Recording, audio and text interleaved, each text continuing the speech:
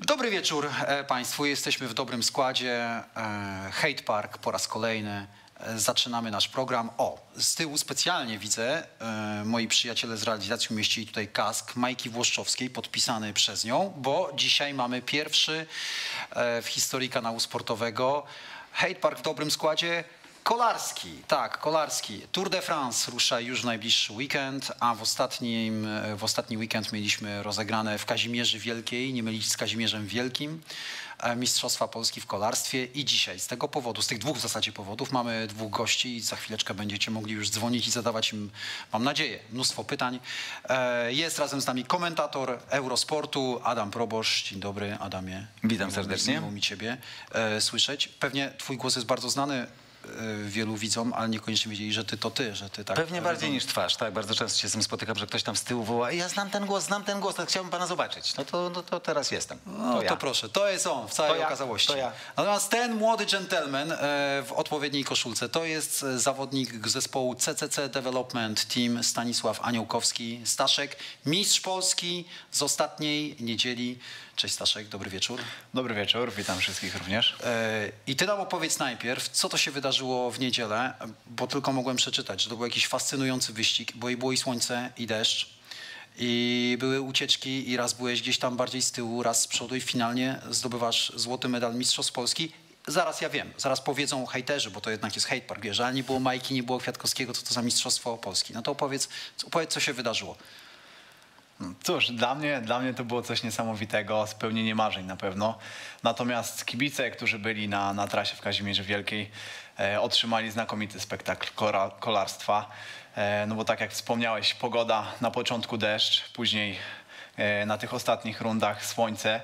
E, Runda też niezwykle ciekawa. Pierwszy raz na Mistrzostwach Polski taka runda, gdzie było bardzo wąsko, e, gdzie były podjazdy, były zjazdy. Tak naprawdę momentów takich do odpoczynku, czyli tych takich płaskich, nie było praktycznie wcale. I, i ta rywalizacja naprawdę była zacięta.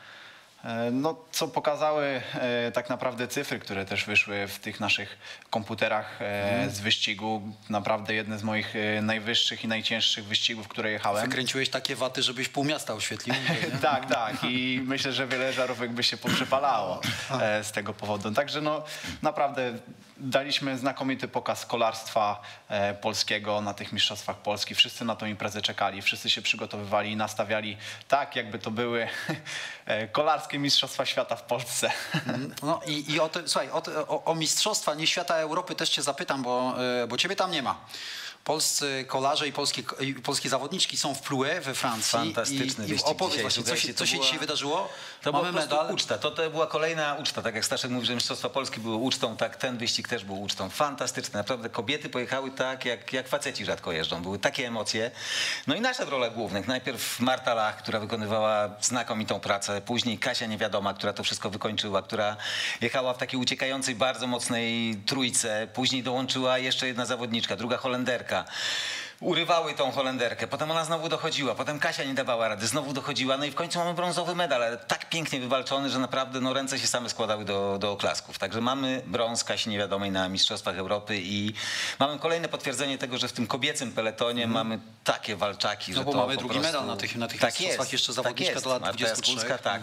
A do tego go atakowała Gosia Jasińska, która zawsze atakuje. No Marta Lach naprawdę jechała fantastycznie, także mamy, mamy super, super dziewczyny w zawodowym Mhm. peletonie. No dobra, mistrzu, a dlaczego ciebie nie ma na Mistrzostwach Europy? Opowiedz nam, bo to nie jest tak, że e, reprezentacja Polski, która startuje w Plue, e, nie startowała na Mistrzostwach Polski w Kazimierzu Wielkiej. Oni byli, ty zdobyłeś złoty medal i nie pojechałeś na Mistrzostwa Europy. Tak, no Co sytuacja, stać? sytuacja można powiedzieć kuriozalna. Odniosłem się do niej e, za, pod, za pośrednictwem moich mediów społecznościowych na Facebooku e, z profilu Stanisław Aniołkowski. E, No myślę, że można zajrzeć tam e, dogłębnie się dowiedzieć o co chodzi, natomiast chciałbym też tutaj widzom wytłumaczyć, no po prostu mistrz Polski e, nie pojechał na, na Mistrzostwa Europy z powodu dalej mi nieznanego tak naprawdę. Myślę, że największy żal mogę mieć o to do związku, czy ewentualnie do, do trenera kadry, że nie poinformował mnie tak naprawdę o tym, nie było bezpośredniego kontaktu e, ze mną, nawet o tym, e, że byłem w składzie szerokim, dowiedziałem się gdzieś z mediów społecznościowych, E, także myślę, że nie Czyli tak... nawet nie wiedziałeś, że jesteś w szerokiej kadrze? E, W szerokiej kadrze dowiedziałem się od mojej partnerki, e, która do mnie zadzwoniła i mówi e, mam dla ciebie świetną wiadomość, bo jedziesz w Mistrzostwach Europy. Ja Mówię, tak, naprawdę? E, no mówi, tak, no tak napisał portal, jeden, e, jeden sportowy portal, taki kolarski. No Tak wszedłem na ten portal, przeczytałem, że faktycznie jestem w szerokim składzie. No pisałem jej, że to jest szeroki skład, z tego składu jeszcze będzie wybrana e, jakby reprezentacja, która pojedzie do Francji bezpośrednio. E, No i myślałem, że gdzieś to się będzie toczyć na Mistrzostwach Polski, tak? No, potwierdziłem tylko swoją klasę na Mistrzostwach Polski tym wynikiem, e, bo też to nie jest tak, że to jest mój jedyny wygrany wyścig. W zeszłym roku wygrałem tych wyścigów 7, ponad 20 razy stałem na podium. Zresztą w Mistrzostwach Europy w roku 2019, co prawda w kategorii do lat 23, no bo jeszcze e, wtedy w tej kategorii wiekowej jeździłem, zająłem czwarte miejsce, także Myślę, że była tutaj szansa dla mnie na potwierdzenie się. No, natomiast y, jakby dalej nie chcę komentować tej sytuacji. A już Trudno- powiedziałeś wystarczająco dużo, wiesz, już pewnie w PZ Kolum mają cię na tym. Tych panów nie obsługujemy, już tam widzisz na... Trudno, trudno. No tak się stało, y, taki jest sport. Ja na pewno nie będę się poddawał, dalej będę walczył. E, Myślę, że daje mi to jeszcze więcej motywacji do tego, by jednak udowodnić e, i pokazać, że to nie jest przypadek, że jestem mistrzem Polski, że wygrywam tyle wyścigów. Nie wiem, co jeszcze będę musiał zrobić, e, by Polski Związek Kolarski we mnie uwierzył. Może dostanę taką informację, co muszę zrobić. To Nie dostałeś jeszcze komentarza zrobić. żadnego z Polskiego E, Związku po, po twoim Nie, wpisie na były Facebooku? gdzieś jakieś ewentualne komentarze w mediach innych e, sportowych. Że? E, No, że po prostu mnie nie widziano od początku na, w tym wyścigu. Więc tym Po co cię powoływano rozumiem, do szerokiej kadry? po co byłem powoływany do, do szerokiej kadry. Adam, twój komentarz do tej, do tej sytuacji? E, Niezrozumiała dla mnie sprawa. To znaczy ja, ja w ogóle nie rozumiem, dlaczego Staszek nie, nie jest w Plue, nie startował w Plue. Wiem, że to jest kwestia jakichś gdzieś nieporozumień na łączach. Polski Związek Kolarski, selekcjoner, y, szef, szef wyszkolenia, coś tutaj gdzieś na tych łączach nie zagrało.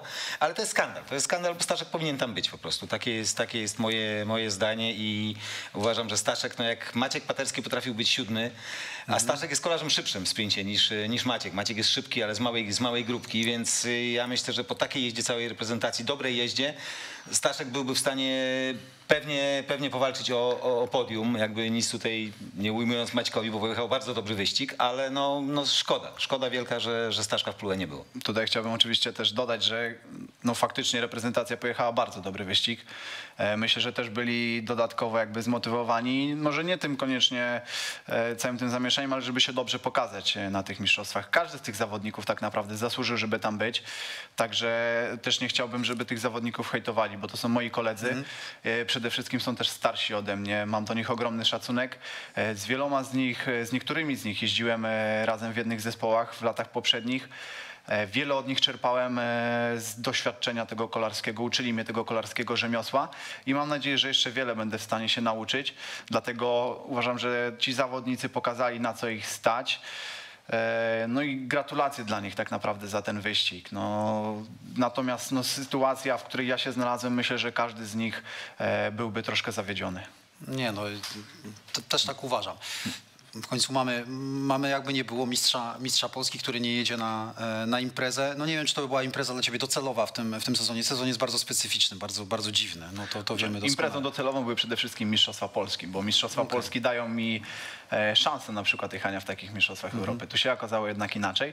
No trudno, no, to pozostawiam do oceny Państwu i, i kibicom. No, może ludzie też będą do nas dzwonili, będą pisali. Ja tutaj spoglądam sobie też na, będę spoglądał na czat. E, także wybaczcie mi, jeżeli będę czasami trochę siedział z nosem w telefonie, ale to nie dlatego, że was nie słucham, broń Boże, tylko dlatego, żeby ewentualnie coś wyłapać i wyłuskać.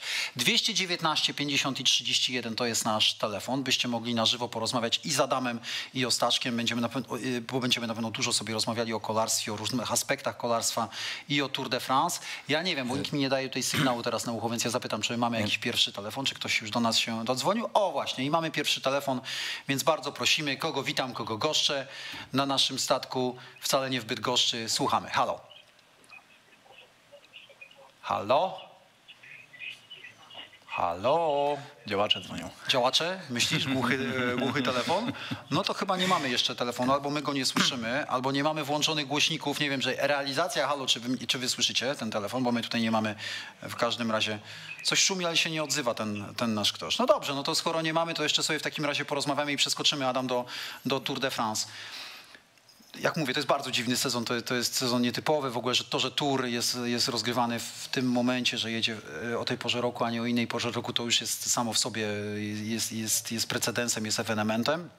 Jakiego Touru należy, należy się spodziewać? Długie jechanie, miesiąc prawie i, i zawodnicy, którzy no mają kilka startów za sobą, bo już były i klasyki, i było i Dauphine, i był przede wszystkim Tour de Pologne, no ale, ale mają tak naprawdę mało wiedzy też na, swój, na, na temat tego, tej, tej swojej jazdy. Mm, Mało, mało. To jest, y, rzeczywiście ten sezon jest bardzo, ba- bardzo dziwny. To, co się działo na Tour de Pologne, straszna nerwowość jest w peletonie, bo to jest tak krótki sezon, a każdy chce się pokazać. Wiesz, tak, na dlatek nikt nie wie, kiedy ten sezon może się skończyć.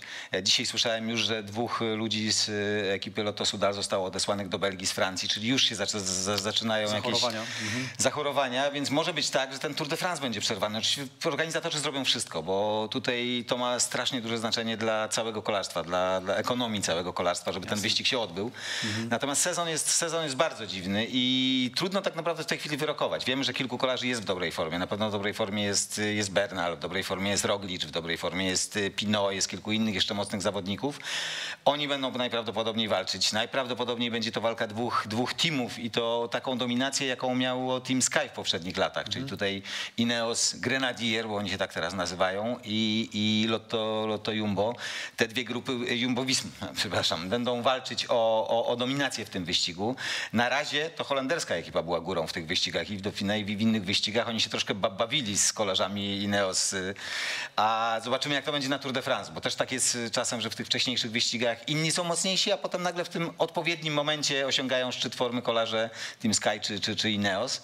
Ale ja myślę, że to będzie bardzo ciekawy wyścig. Myślę, że będzie sporo niespodzianek. Myślę, że wielu kolarzy, jak ostatnio rozmawiałem z Michałem Gołasiem, Michał mówi, słuchaj, w trzecim tygodniu wielu kolarzy odepnie spadochron, czyli po prostu, po prostu wy, wymięknie, bo, no bo nikt właściwie nie, nie jest, nikt nie wie, jak się optymalnie przygotować do takiego sezonu. Czegoś takiego jeszcze nie było, takiej przerwy w sezonie jeszcze nie było e, i tak gęstego sezonu, więc no, nikt nie wie, jak te organizmy zareagują. Tak naprawdę mamy jakichś faworytów, możemy o nich rozmawiać, ale może się w tym wy- wyścigu wydarzyć wszystko. Wiesz co, tak sobie myślę, to jest końcówka sierpnia, czyli wyścig będzie toczyć się głównie we wrześniu. Tak. Mo- mogą być troszkę niższe temperatury niż zazwyczaj podczas, podczas turu, kiedy kiedy po, czasami potrafiło być naprawdę upalnie, no bo to było lato, e, lato we Francji, to akurat może kolarzom pomóc. Mamy telefon, tym razem ponoć ktoś się ma odezwać do nas, więc uwaga, halo, czy tym razem jesteśmy, sprawdzimy. Yy, druga próba, 22 219 50 31, Staszek Aniołkowski i Adam Proboszcz są razem z nami. Kto, jest, kto się do nas dodzwonił? Halo? Halo? E, Panowie realizacje, czy wy dzisiaj tutaj włączyliście nam e, telefony? Dobrze, gramy, tak? dobrze idą dzisiaj te telefony, muszę powiedzieć, doskonale i, i znakomicie. Halo? Jak nie mamy Eee. połączenia, to też warto podkreślić, że również reprezentacja juniorów wraca w tej chwili z Francji Mhm. z powodu przypadku jednego z naszych zawodników, e, który okazał się być pozytywny na, na COVID-19. No także ta sytuacja no, staje się powoli naprawdę nie, niebezpieczna dla, dla wyścigów. E, No i też dla, dla drużyn, tak, jeżeli chodzi o kontynuację tego sezonu. Ale ja chciałbym was zapytać o to, bo Adam na pewno o tym wiesz. I nie mam, e, nie mam takiej wiedzy pełnej. Jaki jest protokół sanitarny w momencie? Co się wydarzy we Francji? Francja jest, dzisiaj Paryż zdaje się został takim miastem w ogóle e, objętym s- swoistą kwarantanną, bo tam jest bardzo, tam jest w tysiące idą zachorowania dzisiaj akurat. E, natomiast jaki jest protokół sanitarny dotyczący Tour de France? Poszczególnych grup. Ja myślę, że będzie jeszcze ostrzejszy na, na, niż na Tour de Pologne, chociaż tam już był, już był ostry protokół. Naprawdę, w, no też różnie, różni zawodnicy i grupy do tego podchodzą. Bardzo rygorystycznie podchodzą na przykład y, grupy australijskie, amerykańskie. E, Tutaj Education First czy, czy, czy Mitchelton, no to były grupy, które jakbyśmy mieszkali w jednym hotelu, to oni mieli na piętrze e, panią, która w rękawiczkach otwierała im wszystkie drzwi, oni niczego nie dotykali, oni Ja rozumiem, dostawali ale to jedzenie do- do wewnętrznych, pokoju. jakby o wewnętrznych zasadach grup, E, tak? Ale to są też zewnętrzne zasady na- narzucone przez UCI, że na przykład y, wszyscy w maseczkach, że odległość. Ja musiałem mieć taką specjalną wędkę do przeprowadzania wywiadów, bo nie wolno mi się było zbliżać do kolarzy. Nie ma podpisywania autografów, nie ma robienia sobie selfie z kolarzami.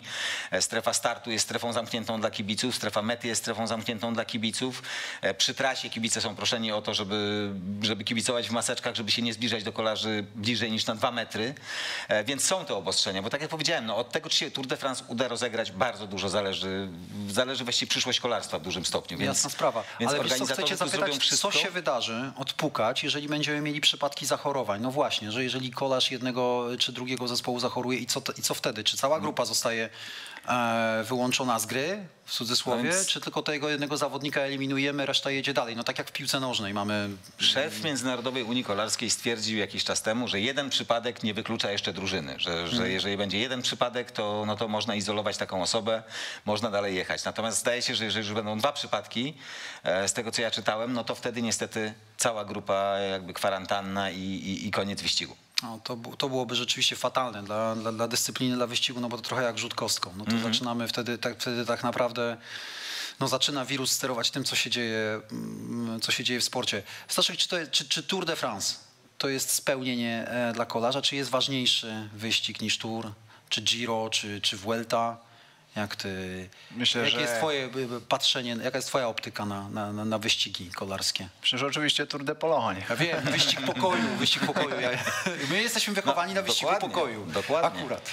Tak, chciałbym zacząć od Tour de Pologne. Oczywiście no, Tour de France czy któryś z kolejnych wielkich turów, no to jest, to jest marzenie i, i też na tym samym poziomie myślę, że stoją Igrzyska Olimpijskie. Każdy sportowiec chciałby się pojawić na tej imprezie. Każdy sportowiec chciałby reprezentować e, swój kraj, bo, bo na turach reprezentujemy e, teamy, to też jest dla nas ważne, natomiast na Igrzyskach jest koszulka z biało-czerwonym orłem i, i to jest zawsze coś wyjątkowego jechać dla, dla swojego kraju. Słuchajcie, nie mamy, e, zdaje się, że jest problem natury technicznej. E, My jesteśmy w jednej siedzibie, gdzie jest radio Weszło FM. Zresztą ma, doskonale znasz, Tak, bo prowadzisz audycje znane. kolarskie na, na tej antenie i nasze jakby, mamy tutaj e, telefony przechodzą przez Weszło FM, żeby trafiły na naszą antenę. I gdzieś na tym krótkim odcinku, ja wiem, pięciu metrów jest jakiś problem natury technicznej. Te telefony nie, nie przechodzą jeszcze, ale spokojnie. I zaraz się wszystko uda, będziecie mogli dzwonić i będziecie mogli Ja myślę, zadawać, że- ale na razie się podeprę e, czatem, bo tutaj wam zadaję Ale też w międzyczasie widziałem, że na czacie było bardzo dużo pytań, dlaczego dzisiaj nie o piłce, tylko o kolarstwie, więc ja chciałem powiedzieć, że Staszek, ja ci chciałem zapytać, Staszek jak dzisiaj Remco nie o piłce? Evenepoel miał No. przygodę piłkarską, zaczynał od piłki nożnej Tak. i dzisiaj też chciałeś coś piłkarskiego przekazać, Staszek. Proszę. Tak, tak. Gdy tylko tutaj się pojawiła informacja, że pojawię się w tym programie, no dostałem mnóstwo wiadomości. E, Gdzieś przygotowaniach do sezonu też e, czasami biorę udział w jakichś e, piłkarskich imprezach. Serio? E, Na przykład w, futbol, w futbolice gram tak bardziej amatorsko i, z zachowaniem ostrożności, żeby gdzieś nie nabawić się kontuzji, ale też e, klub, e, który powstał miesiąc, e, rok temu w zasadzie Madziar Nieporęt, tutaj e, w naszej miejscowości. No właśnie, nie ma żadnego Węgra, nie ma żadnego Węgra, natomiast chłopacy zaczęli e, w B-klasie, w pierwszym sezonie wygrali tą B-klasę w Cugrach, teraz grają w A-klasie. E, chyba nawet z zespołem e, gdzieś sponsorowanym przez Weszło FM, także gdzieś tam rywalizacja jest i, i tutaj e, chciałbym ich pozdrowić i myślę, że gdzieś właśnie w tych przygotowaniach e, do kolejnego sezonu e, gdzieś będę chciał poprawić swoją może ogólno, e, mój ogólny rozwój fizyczny i właśnie z nimi gdzieś potrenować. To mi E, wyglądasz na z skrzydłowego. W tym, w tym naszym nieporęckim klubie. Bardzo, bo jesteś z Wólki e, Radzymińskiej. Wólki Radzymińskiej, Z Wólki tak. Radzymińskiej. To też o to ja cię zapytam, jak ty trenujesz, jak ty tam sobie dajesz radę jeździć między, między na przykład tirami tak, tak w sezonie. Ale, ale czekajcie, jeszcze jedno pytanie w takim razie e, z czata, chociaż pod, zaraz będziemy mieli trzecią próbę podejścia pod, e, pod telefony. Do trzech razy, Pytanie jest tak dlatego, jest. Adam, jest dla ciebie takie. Pyta pan Tomek Zajkowski. Pytanie jest, dlaczego Tour de Pologne nie zmienia tego e, trasy wyścigu od wielu lat? E, Wiecznie te same trasy, wiecznie te same drogi. Co panowie myślicie na ten temat? No ja wiem, nie jesteśmy górzystym krajem, a mamy tylko jedne góry tak naprawdę. To Mamy na raz, południu. No ale nie jedne, ale... Dwa to jest, e, znaczy to, to jest skomplikowana kwestia, bo, Hmm. bo, bo to jest tak, po pierwsze, żeby zrobić taki wyścig, no to musisz e, nie tylko narysować sobie te etapy, ale musisz znaleźć miasta, które za nie zapłacą. Samorządy, no właśnie. Dokładnie. Które będą chciały za to zapłacić. Dokładnie. I dlatego w, akurat w przypadku Tour de Pologne jest tak, że i Katowice, i Kraków chciały podpisać długoterminową umowę na kilka lat. No i oczywiście Czesław Lang się na to zgodził, no bo to dla niego to była była wspaniała wiadomość, że oni chcą, chcą przez kilka lat być z tym wyścigiem. E, od kilku lat Czesław Lang myśli o tym, żeby trasę wyścigu zmienić. W tym roku się wyścig miał zaczynać w Warszawie przecież. No, ta, taka, później ta trasa została zmieniona ze względu właśnie na, na, na pandemię, bo trzeba było wyścig skrócić do, do pięciu dni. Natomiast, y, tak jak mówię, to jest po pierwsze kwestia y, znalezienia miast, które będą chciały za to zapłacić. Po drugie kwestia znalezienia bazy hotelowej odpowiedniej w każdym z tych, z tych miast. Znalezienia miejsca, gdzie można ulokować start i metę. E, A do tego jeszcze według prze- przepisów e, etapy powinny mieć około 200 kilom, e, kilometrów.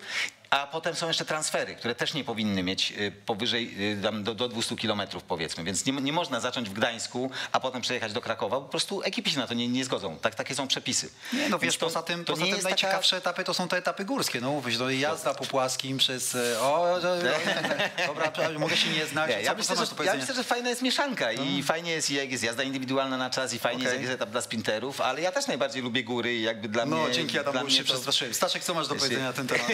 Bo- się skrzywiłeś, jak to powiedziałem. Troszkę się skrzywiłem, bo moja specyfikacja jest taka bardziej szybkościowa, tak? Okej. Lubię finisze i, i gdzieś dzięki temu właśnie też wygrałem Mistrzostwa Polski, chociaż na trudnej Ale trasie. były, mówisz, że były podjazdy, Natomiast, były, no. Tak, tak, no trasa była bardzo ciężka, natomiast jeśli chce się liczyć na świecie, to właśnie trzeba e, wytrzymywać e, takie górki. Natomiast no, fajnie by było, gdyby ten tur jednak e, również rozgrywał się w tej północnej części, części naszego kraju i może z etapu na etap przechodził coraz bardziej na południe.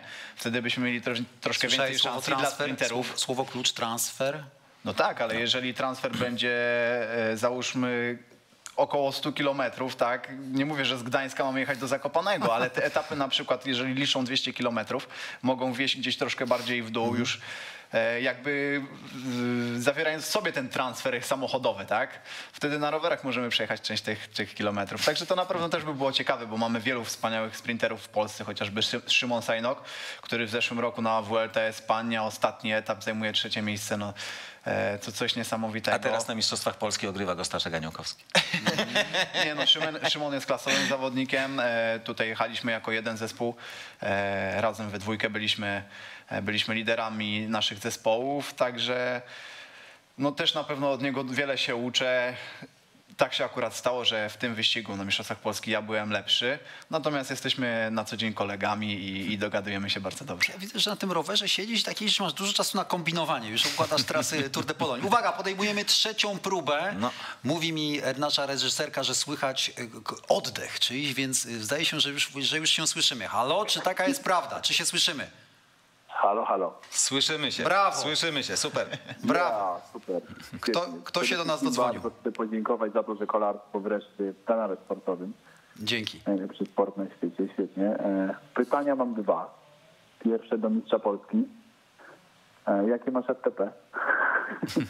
FTP to jest e, około 385-89 W. No, no co, coś, coś około tego, tak? A, to jeszcze 150 i się ścigamy. I super. A drugie pytanie mam do... Może nie pytanie, po prostu z Adamem Proboszem chciałem wirtualną piątkę zbić za to, że robi świetną robotę i w ogóle no, cała redakcja, muszę przyznać, e, Eurosportu Kolarska to jest chyba top topów, bo nie dość, że znacie ich wszystkich, to chyba się z nimi lubicie i jest to dla was przyjemność i chciałem usłyszeć, jak, czy podzielasz moje zdanie i tyle. No ja mogę się tylko cieszyć, ja mogę tylko podziękować. Przybijam tą wirtualną piątkę zdecydowanie. Nie wiem, czy do tej, czy do tej kamery, ale to wszystko Gdzie jedno. chcesz. No.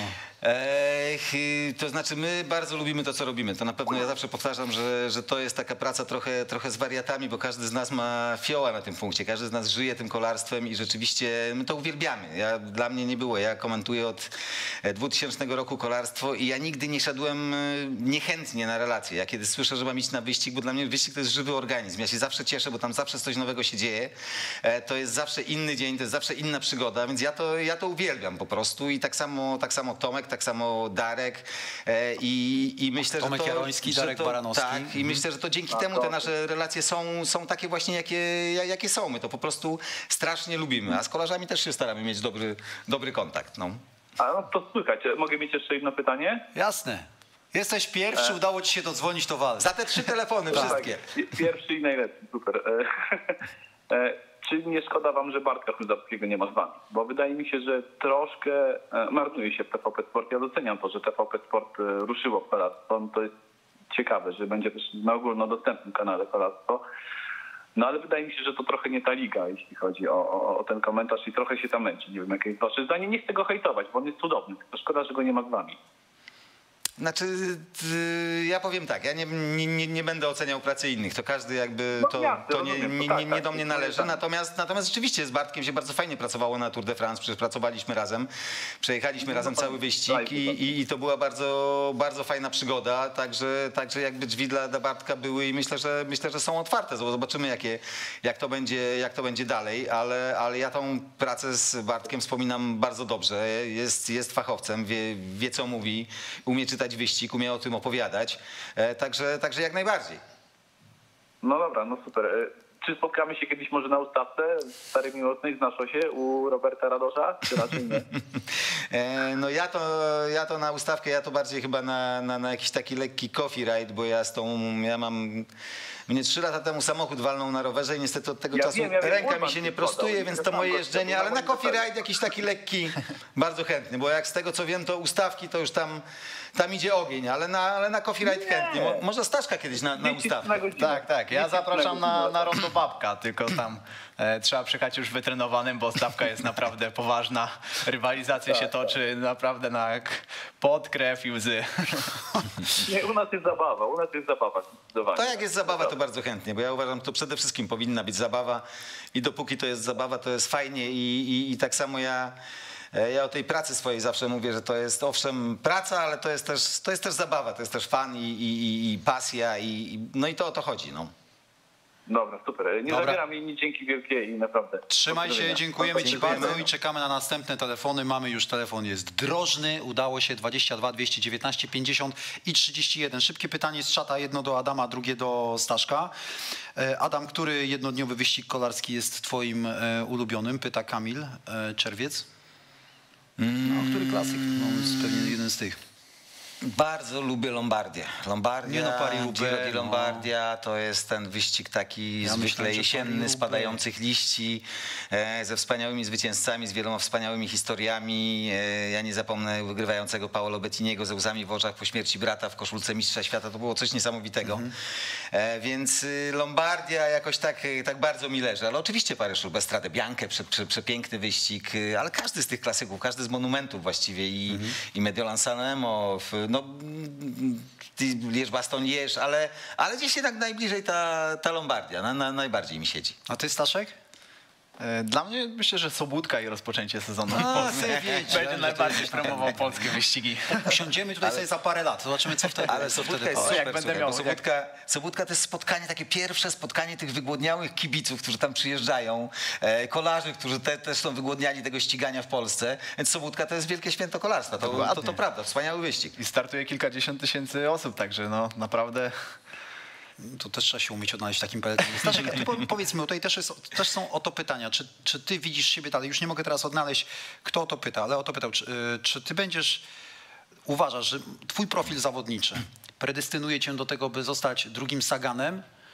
Czy, e, czy będziesz jednak, y, czyli, czy, no, no, czyli typ sprintera, czy jednak będziesz y, zawodnikiem, nie wiem, od klasyków z czasem, czy jednak pójdziesz w jeszcze trzecią drogą i nagle staniesz się zawodnikiem do klasyfikacji generalnych wyścigów, do wielkich turów wieloetapowych. No tutaj trzeba być dobrym góralem, umówmy się, i dobrym czasowcem. I generalnie wszędzie trzeba być dobrym. Tutaj. No tak, ja, ja cały czas się rozwijam, natomiast myślę, że pierwszą specyfikację Sagana jako sprinty i też klasykowce, no to można połączyć w jedno, no bo Peter Sagan jest wyśmienitym e, e, klasykowcem, tak? I, I myślę, że gdzieś bliżej mi do tej jakby charakterystyki ni, niż gdzieś do, do walki w wielkich turach trzytygodniowych.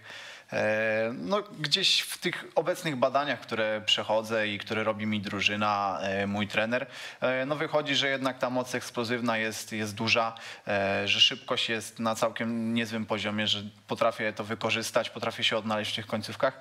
Także myślę, że na razie w tym kierunku będę podążał. A czy ty jesteś w stanie, czy, czy ty masz również jakiś poziom odniesienia do, do zawodników starszych, do zawodników z CCC Team? Jak, to się, jak, jak właśnie się przedstawiają twoje wyniki w stosunku do, no nie wiem, no najlepszych w grupie, no, no Vana Vermata, no nie wiem, czy do, czy do innych kolarzy?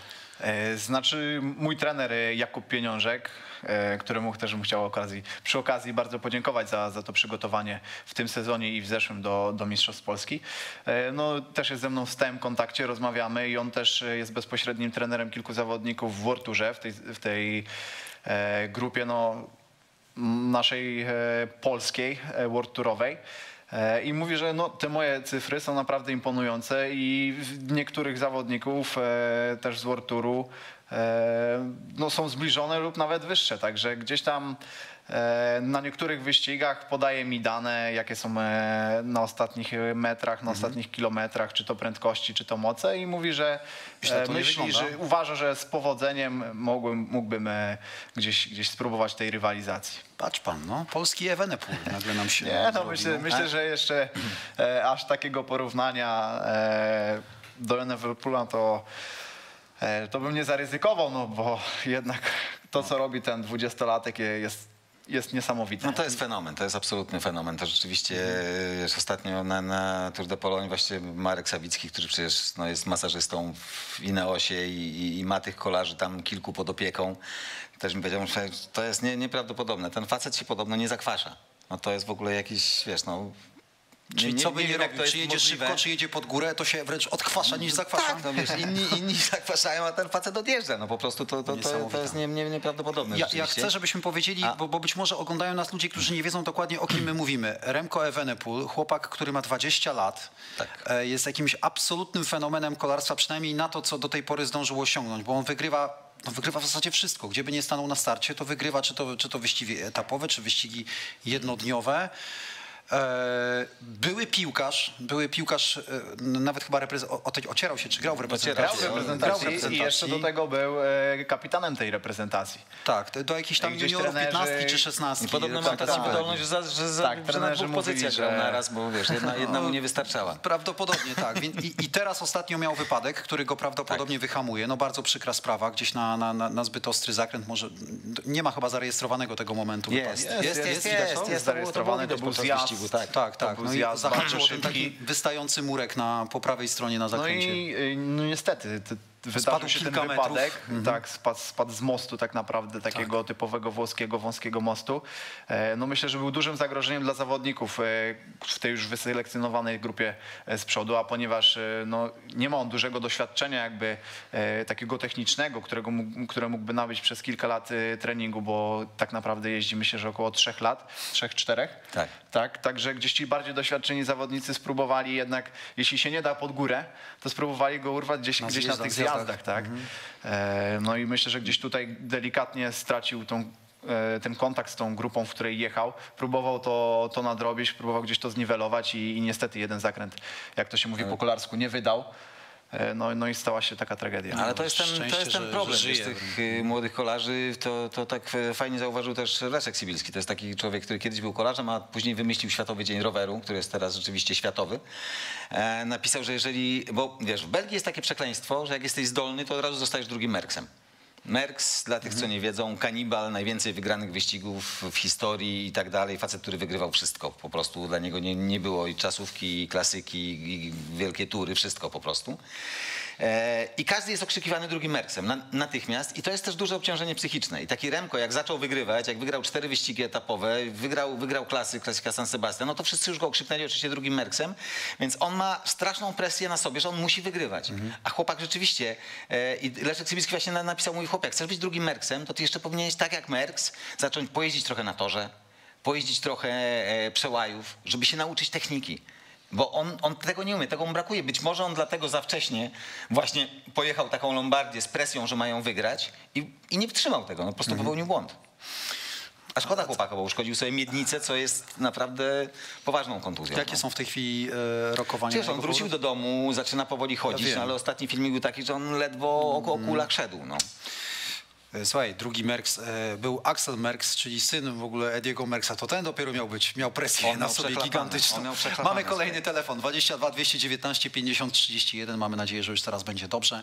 Dzisiaj Kolarski, Hate Park. Dzwoncie, pytajcie. Halo, kto jest z nami? E, Dobry wieczór. Dobry wieczór. Dobry wieczór. Michał z Warszawy z tej strony. Cześć Michał. Witam, witam. Ja mam pytanie do mistrza. Myślę, że dość kontrowersyjne. Mam kilku kolegów, którzy jeżdżą na rowerach i mówią mi taką rzecz, że mm, na rowerach jest podobnie jak w ciężarach. Wszyscy biorą, tylko pytanie, e, kogo złapią. E, Pytanie, czy odniesiesz się właśnie do tej sytuacji, jak to jest z dopingiem e, i wykorzystując sytuację też związaną z COVID-em, czy myślisz, że będą jakieś sytuacje, że, że zawodnicy będą jednak e, wykorzystywać e, tą sytuację, żeby jakieś, jakieś środki wykorzystywać, które będą mogły wspomagać e, kolarzy? Nie No, pa- przedłużam, zestresowałem się. Dziękuję uprzejmie. Dobrze poszło, dobrze poszło Michał. Nie, no oczywiście, nie uciekniemy od tematu, bo, Nie bo no. temat dopingu jest, jest ściśle związany z, z kolarstwem. Podnoszenie ciężarów, kolarstwo, lekkoatletyka to są te dyscypliny, które są najbardziej na, na świeczniku. Dawaj mistrzu, Tylko pytanie, dlaczego są najbardziej na świeczniku? Dlatego, że bo się z tym walczy. E, nie bo, ma- bo chce się z tym nie, jednak, bo, znaczy, bo chce się- się, nie, bo, bo może kolarstwo chce się oczyścić, tym a może walczy. było w pewnym momencie w latach 90. i w pierwszej dekadzie lat 2000 już tak bardzo brudne. Tylko pytanie, jak wiele e, tych testów jest przeprowadzanych w innych dyscyplinach. Tak? Mhm. W kolarstwo e, to myślę, że pod względem jeden do jednego jest do innych sportów. Wszystkie sporty razem to jest tyle samo badań, co w kolarstwie. I myślę, że kolarstwo staje się naprawdę bardzo czystym sportem. E, Ja na przykład po wygranych Mistrzostwach Polski w Kazimierze Wielkiej nawet nie mogłem zbyt długo pocieszyć się z rodziną, bo od razu był do podpisania protokół antydopingowej e, z Polady. E, Także też po tym wyścigu miałem te badania. Tych badań już przeszedłem w swojej karierze naprawdę dużo. I począwszy od ekip prokontynentalnych i world tourowych, tam każdy ma paszport biologiczny, tam każdy musi pisać codziennie w aplikacji w telefonie czy też na komputerze, gdzie się znajduje, od jakich, w jakich godzinach trenuje e, i wyznaczać godzinę dzienną, w której na pewno jest w domu i w tej godzinie musi kontrolę przyjąć, tak? To nie jest tak, że kontrola przyjedzie akurat w tej godzinie, w tym okienku tak zwanym, w którym on sobie zaplanuje, e, tylko w tym w tej okresie czasu musi być w domu, nie może być tak, że go nie ma. E, Natomiast kontrola może przyjechać od godziny 6 do 23. E, No i myślę, że, że to jest... Czytałeś książkę Taylora Hamiltona, że ci wejdę w słowo? e, czytałeś czy nie? No niestety nie miałem jeszcze okazji. Cze, przeczytaj, bo to jest, czytałeś Adam na pewno. Tam jest Czytałem. poradnik, Czytałem. jak oszukiwać kontrolerów dopingowych, kiedy właśnie on tam pisał, że wszyscy kolarze zaczynają szprycę w tamtych latach właśnie po godzinie 23, kiedy już wiadomo, że ci kontrolerzy nie przyjadą na, na, na ten... No, on gdzieś tam sobie mieszkał w środku Stanów, miał zaprzyjaźnionego kontrolera, bo już się z nim poznał, bo on tam mieszkał 200 kilometrów dalej, gdzieś w Austin, nie pamiętam. I wtedy Nie, no robili- myślę, że w tej chwili przy... ale jest oczywiście, poszło znacznie do przodu. E, Ale wiesz co, ale to jest tak. Kontrolerzy gonią, czy WADA próbuje gonić, e, a ci, którzy próbują się dopingować, zawsze są o krok do przodu. Takie są No to zawsze są była zabawa policjantów i No złodziei. No umówmy się, znaczy e, nie, ma za, nie ma zawodowego sportu bez dopingu. Ten doping jest w zawodowym sporcie. On jest w całym zawodowym sporcie. Ja, ja nie wiem, czy jest jakaś dyscyplina, która jest wolna od dopingu w ogóle, że nikt tam nie, nie próbuje oszukiwać. Wiesz, to jest I tak naprawdę to się na specyficzny. Tu jest wydolność, zaczęło, wytrzymałość w kolarstwie i regeneracja, która jest niezbędna, zwłaszcza w wielo, wieloetapowych wyścigach. Mhm, No, To jest jednak, ta mieszanka jest jakby, sprowadza się I do tego, że, prób, że, że próbujesz sobie pomagać. I rzeczywiście był moment, kiedy ten doping w kolarstwie był jakby bardzo rozpowszechniony. Rzeczywiście był taki moment, były takie lata, były lata, kiedy wiesz, y, lodówka z EPO stała właściwie obok y, ekspresu z kawą w autokarze. No, no i to, ale to jeszcze to EPO nie było zabronione wtedy. To jest też śmieszne, że jakby oczywiście szuka się tych środków zawsze, które nie są jeszcze, jeszcze za, zabronione. Natomiast ja myślę, że ja No myślę, że rzeczywiście wide, kolarstwo się... Widemeldonium i, i, i Szarapowa, który to środek, który był przez lata nie był Tak, zakazany, tak. więc ona go brała i nagle nie zorientowało się jej otoczenie, że, że ten środek jest już zakazany. Ona dalej była na meldonium. Prawda? Ale na dokładnie, dlatego ja mówię, nie ma, nie ma zawodowego, zawodowego sportu bez dopingu, yy, ale nigdy nie powiem, że wszyscy się dopingują. Nigdy nie powiem, że jakaś dyscypl- w jakiejś dyscyplinie wszyscy się dopingują. To są, w każdej dyscyplinie są takie przypadki, na pewno. E, I ja myślę, że w kolarstwo rzeczywiście bardzo się oczyściło po tych czasach takich ciemniejszych. Tam były jeszcze też te lata, kiedy kolarstwo jakby amatorskie połączyło się z zawodowym, kiedy weszła tak zwana tania apteka ze wschodu, Tak. e, wiesz, i, i, Radzieccy i- kolarze, nerdowscy tak, kolarze, Tak, dokładnie. I, I wiesz, i, i wtedy, wtedy się zrobiło duże zam- zamieszanie. Wtedy rzeczywiście był olbrzymi problem z dopingiem.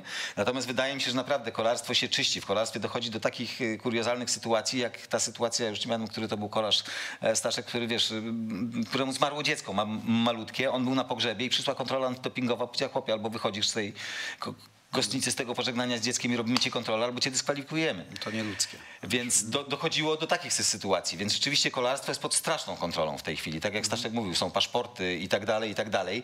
E, więc ja jestem przekonany, że to kolarstwo się bardzo mocno oczyściło. E, i, I też to, co Staszek mówił o tej, o tej liczbie kontroli. No wyobraź sobie, że, że do jakiegoś bardzo znanego piłkarza przychodzi ta, taki kontroler w takiej sytuacji. No Nie, to, to się w ogóle nie ochroniarze go nie dopuszczą. No to po prostu nie ma, nie ma takiej możliwości. No więc Nie pamiętam więc- dokładnie, są zdaje się po meczach w europejskich pucharach dwaj piłkarze wyznaczeni, ale to, to No. tyle. No, No. to, to, to Tak, ja, tyle. ja pamiętam wiesz- sytuację, że gdzieś była e, afera w mediach, teraz już, no nie wiem, może e, bardziej Tomku wiesz, e, z piłkarzami, na przykład polskiego klubu, którzy gdzieś robili sobie zdjęcia przy wlewach witaminowych. No to, to pił to była znana sprawa, bo Tak, no, i wiesz, oni nawet nie byli świadomi, że iniekcja Tak, jest- jest zakazana. tak no, jest. Co w kolarstwie, no nie wiem, nie wyobrażam sobie takiej sytuacji, żeby ktoś o czymś takim nie wiedział. Ja e, idąc A do tutaj nie lekarza lekarz mówiliśmy o dopingu, przepisze- tylko mówiliśmy po prostu o iniekcji jakichś tam pewnie regenerujących środków, coś, żeby się No szybciej dojść do siebie. Natomiast jest to nie, niedozwolone powyżej jakiegoś tam litraża. Nie pamiętam, czy 50 ml, czy 100 ml. To już tego nie Generalnie w kolarstwie injekcja jest całkowicie zero. zabroniona. tak. Także ja nawet chodząc do zwykłego lekarza pierwszego kontakt, y, kontaktu, gdy dostaję jakieś e, leki, jak jestem chory, e, na kaszel czy coś, wszystko muszę e, udokumentować, zrobić zdjęcia, wysłać do mojego doktora, zapytać, czy to jest w porządku, czy, czy mogę to wziąć, czy też nie. No, natomiast jeszcze wracając do takich sytuacji, jak bardzo jest e, środowisko kolarskie na to wyczulone i jak dużą wiedzę mamy, e, to również w piłce nożnej gdzieś e, przy jakimś meczu, e, chyba też w Lidze Europy, czy gdzieś w Legii Warszawa, też właśnie było wybieranych dwóch piłkarzy. Tak. I to jest losowe, tak? Tak jak my na wyścigach. Nasz, Wiesz co, to jest zawsze inaczej. nasz masażysta Siedzi sprawdza. kontroler, ja ci powiem, jest, bo akurat, akurat tutaj, tutaj rozmawiałem z lekarzem kiedyś Legii Warszawa, on kiedyś opowiadał jak to jest. Siedzi na trybunach e, osoba odpowiedzialna za to i rzeczywiście jedna osoba jest wskazywana losowo, ale on ma prawo jakiegoś widzi jakiegoś zawodnika, który się wyjątkowo wyróżnia. Na przykład szybkościowo, nie wiem, e, na skrzydle 70 razy potrafi zrobić nagle sprinty i błyskawicznie się od, regeneruje, odnawia i znowu sprinty. I on Tak, tak. o, tego zawodnika chce. Tak, tak. I Mogę właśnie na to do czego zmierzałem, że kontroler wybrał jakby tych zawodników, Tak. przyszedł do sztabu, a sztab był zaskoczony, ale do czego wybrałeś tych zawodników? My wybierzemy ci, którego chcemy dać do kontroli. no właśnie, I też właśnie nie byli w ogóle całkowicie tego świadomi. Tak, U nas tak. po każdym wyścigu e, z, z jakby członek e, naszego sztabu, naszego teamu, zazwyczaj jest to masażysta, musi pojawić się na linii mety, gdzie jest wywieszona karta z zawodnikami, którzy będą e, poddani kontroli dopingowej i wtedy informują nas. Zresztą w międzyczasie już nas szukają tak zwani łapacze, którzy e, dają nam dokument do podpisania e, odnośnie kontroli i my się musimy stawić na taką kontrolę. Nie ma takiej sytuacji, że, że ktoś nie pójdzie na, na kontrolę antydopingową, bo dostanie automatycznie karę, zostanie zdyskwalifikowany na pewien okres czasu. Słuchaj, Adam, jeszcze pociągnę ten wątek. Ktoś napisał tutaj i, i teraz e, bazuję tylko na tym, co zostało, co zostało napisane tutaj, e, tutaj na czasie, że podczas Dauphine Libere, czyli wyścigu kolarskiego wieloetapowego, który się skończył półtora tygodnia No, temu, tak, jakoś, no. ja- jakoś tak. E, Te, te wyniki właśnie tych watów wykręconych przez zawodników były nadzwyczaj wysokie. Czy to prawda, czy nie? To właśnie powiedz mi, jeżeli, Znaczy jeżeli mieliście były, okazję. były, że rzeczywiście tam notowano takie liczby na, na, na, na- na podjazdach, że rzeczywiście rekordowe. No. No o, i tutaj stąd pytanie, czy to nie rodzi jakichś podejrzeń, skoro one są znowu tak wysokie, tak rekordowe, po jednak po tak długim okresie niejeżdżenia na rowerach. No ale też, też pamiętajmy, jak zmotywowani kolarze teraz jeżdżą. To jest też inna troszkę Myślisz, że motywacja tyle jest, sytuacja. tyle w stanie, jest w stanie zrobić? Słuchaj, nie wiem, stanie, ile, nie wiem, ile jest w stanie zrobić. Yy, Ja też mam taką zasadę, że dopóki, do- dopóki się kogoś nie złapie za rękę, to ja go nigdy nie, nie Mhm. oskarżę, bo, bo, bo to też już było wiele takich przypadków, że kogoś się oskarżało, a potem się okazywało, że, że bardzo nie, że zupełnie niesłusznie. E, Natomiast e, to też jest, myślę, jeden z elementów kontroli, że to można sprawdzić. To znaczy, wiesz, patrzysz na te waty i widzisz, że są bardzo wysokie. Więc się rodzą jakieś podejrzenia, więc w związku z tym następują kontrole. Oczywiście. I tacy kolarze jakby też są bardziej pod lupą wtedy. I po to też są te paszporty biologiczne. Tak, po tak, to są dokładnie. paszporty biologiczne, Dokładnie. żeby móc sprawdzić, jak wyglądał pan Sta- s- mały Staszek Aniołkowski i pan Stanisław Aniołkowski już kilka ładnych lat później. Czy tutaj to- nie ma tam jakichś... się sprawdza parametry krwi i wiele Oczywiście. innych pa- parametrów, tak. E, Słuchajcie, mam informację, tutaj czasami sobie nawiązujemy do piłki nożnej. Wybaczcie, Lech prowadzi 3 do 0 e, z, O. w swoim meczu Pucharu Polski, także nie jesteśmy jeszcze, nie, jest, nie jesteśmy jeszcze takim Ligi Europy. E, nie jesteśmy jeszcze tacy najgorsi. Dwa polskie zespoły prawdopodobnie zagrają w europejskich. No trzy, bo Legia przeszła z eliminacji Ligi Mistrzów do Ligi Europy. I to jest jedna informacja, ale ważniejsza informacja jest taka, że mamy kolejny telefon, ale jest jeszcze jedna ważniejsza informacja, bo tutaj o książce była mowa, a ja chciałbym o pewnej książce, przyniosłeś się gdzieś tutaj. Właśnie ci napisałem, że jest u mnie w plecaku i żeby może ktoś Ale to ja mogę przynieść. To ja może w międzyczasie, no, Tomku, To- to- tak. chciałbym cię zachęcić bardzo, No. bo dowiedziałem się, że dopiero dwa lata jeździsz na rowerze. Posłuchaj, ktoś tutaj A mi się napisał, że wydaje- jeżdżę tylko na rowerze Wigry 3, ale to nie jest prawda, że tylko na E, Wigry Mam 3. dla ciebie e, taką oto koszulkę. Jest Bardzo to oryginalna koszulka naszego zespołu. Posłuchaj, myślę, że zachęci cię Mniejszych do... koszulek jeszcze nie było? Możesz przymierzyć, myślę, że się zmieścisz. Ona, ona się dopasowuje do, Ja do wiem, ja ciała. wiem, ja wiem. A bardzo E, elegancka koszulka. Także No, no. myślę, że zachęci cię do, no tak samo do, jak do piłki nożnej jesteś e, zarażony tym wirusem piłkarskim, to tak zarazimy cię troszeczkę tutaj naszym e, kolarskim wirusem. No bo też myślę, że e, nie każdy gra w piłkę, ale każdy jeździ na rowerze. No to również potwierdzasz, że, że posłuchaj, już od dwóch lat ja jeździsz. od dwóch lat już też mogę to o Także- sobie powiedzieć. Ja przy okazji Być może kiedyś się spotkamy jeszcze na, O, na treningu. uważaj. założysz koszulkę i poczytasz książkę przy Tak okazji. jest. Powiedzmy o tej książce, bo to jest kolejna pozycja wydana przez e, SQN, to jest La, La Vuelta de España. To jest kolejna w ogóle pozycja z, z pewnego cyklu, bo było już o Tour de France, było o Giro. Tak. Czytałem, jak Boga kocham, bo ja bardzo lubię książki kolarskie, mimo że nie jeździłem na rowerze, to bardzo lubiłem o kolarstwie e, czytać. Ale pan Alvaro Calleja e, przeczytał, tę, napisał tę, tę książkę, były już książki o Turze, były książki o Giro, była książka o Pantanim, O Pantanim, e. Sagana książka była, tak, Oczywiście. tak. Jest cała seria rzeczywiście już tych kolarskich książek. Fajne w nich jest to, że każda jest napisana inaczej.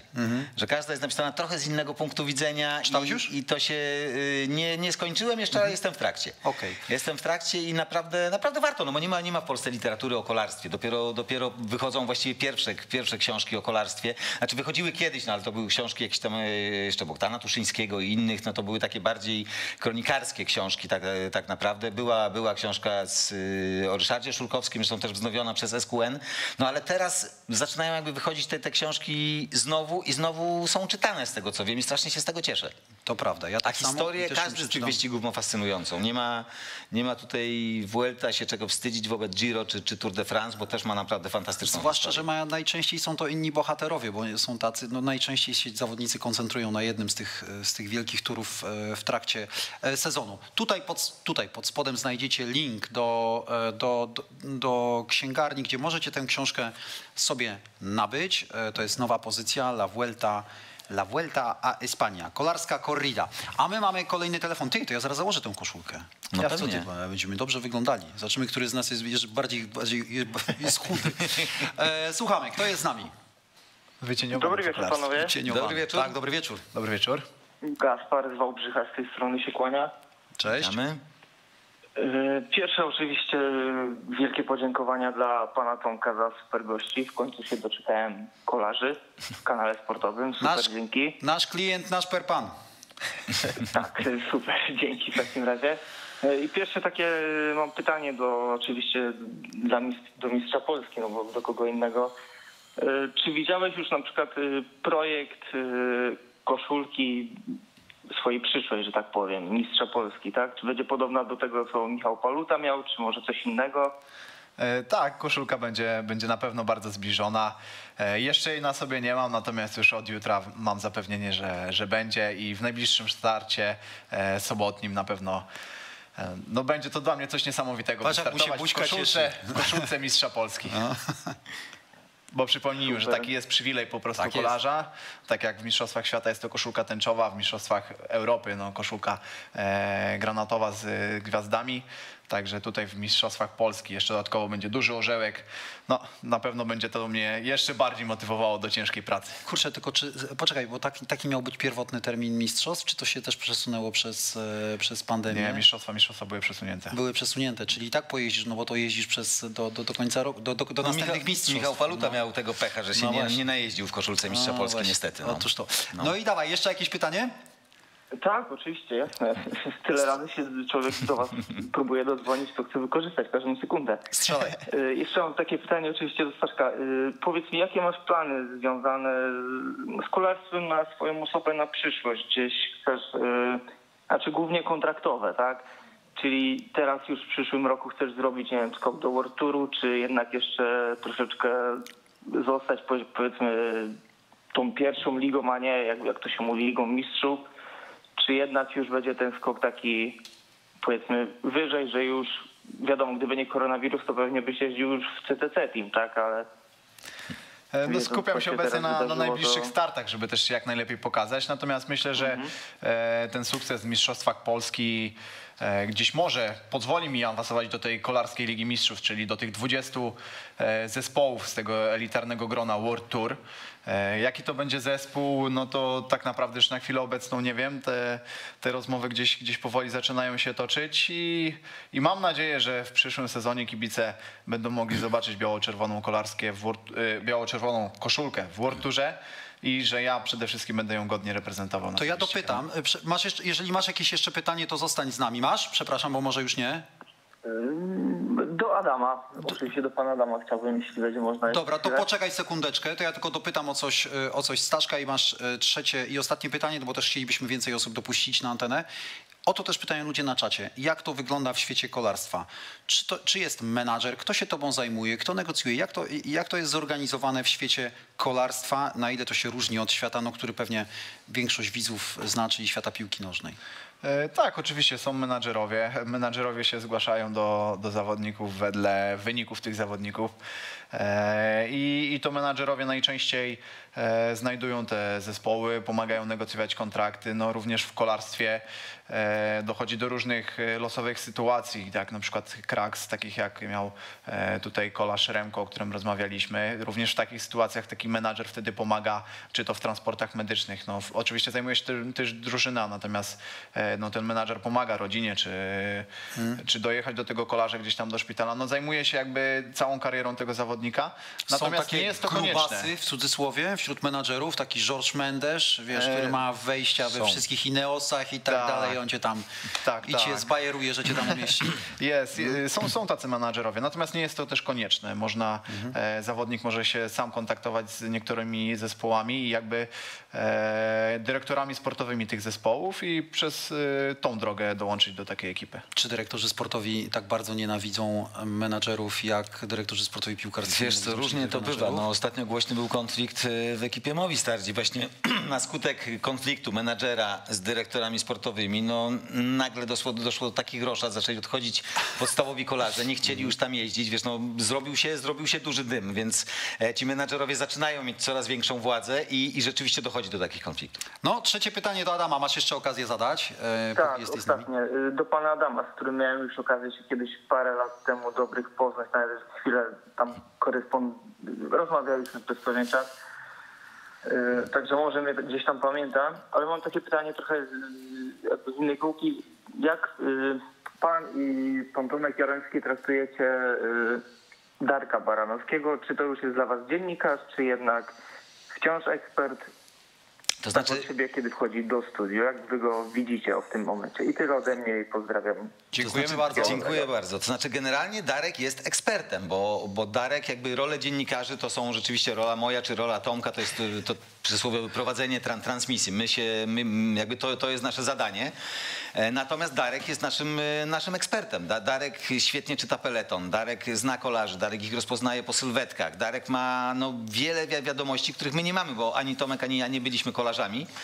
E, Dlatego, dlatego taka, jest, taka jest rola Darka. Natomiast Darek wykonał niesamowitą pracę od pierwszych relacji, gdzie no jeszcze głos mu się łamał, gdzie jeszcze e, no jakieś gafy mu się językowe zdarzały. Darek wykonał niesamowitą pracę. Darek jest zawsze fantastycznie przygotowany do relacji e, i my to bardzo u niego cenimy. Bardzo to Wyżej, wyżej. podziwiamy tą pracę, którą on wykonał, bo to naprawdę nie było, nie było łatwe. No myśmy e, mieli za sobą jednak dużo dłuższe doświadczenie, mamy za sobą dużo dłuższe doświadczenie dziennikarskie. Ja w Eurosporcie pracuję od 2000 roku.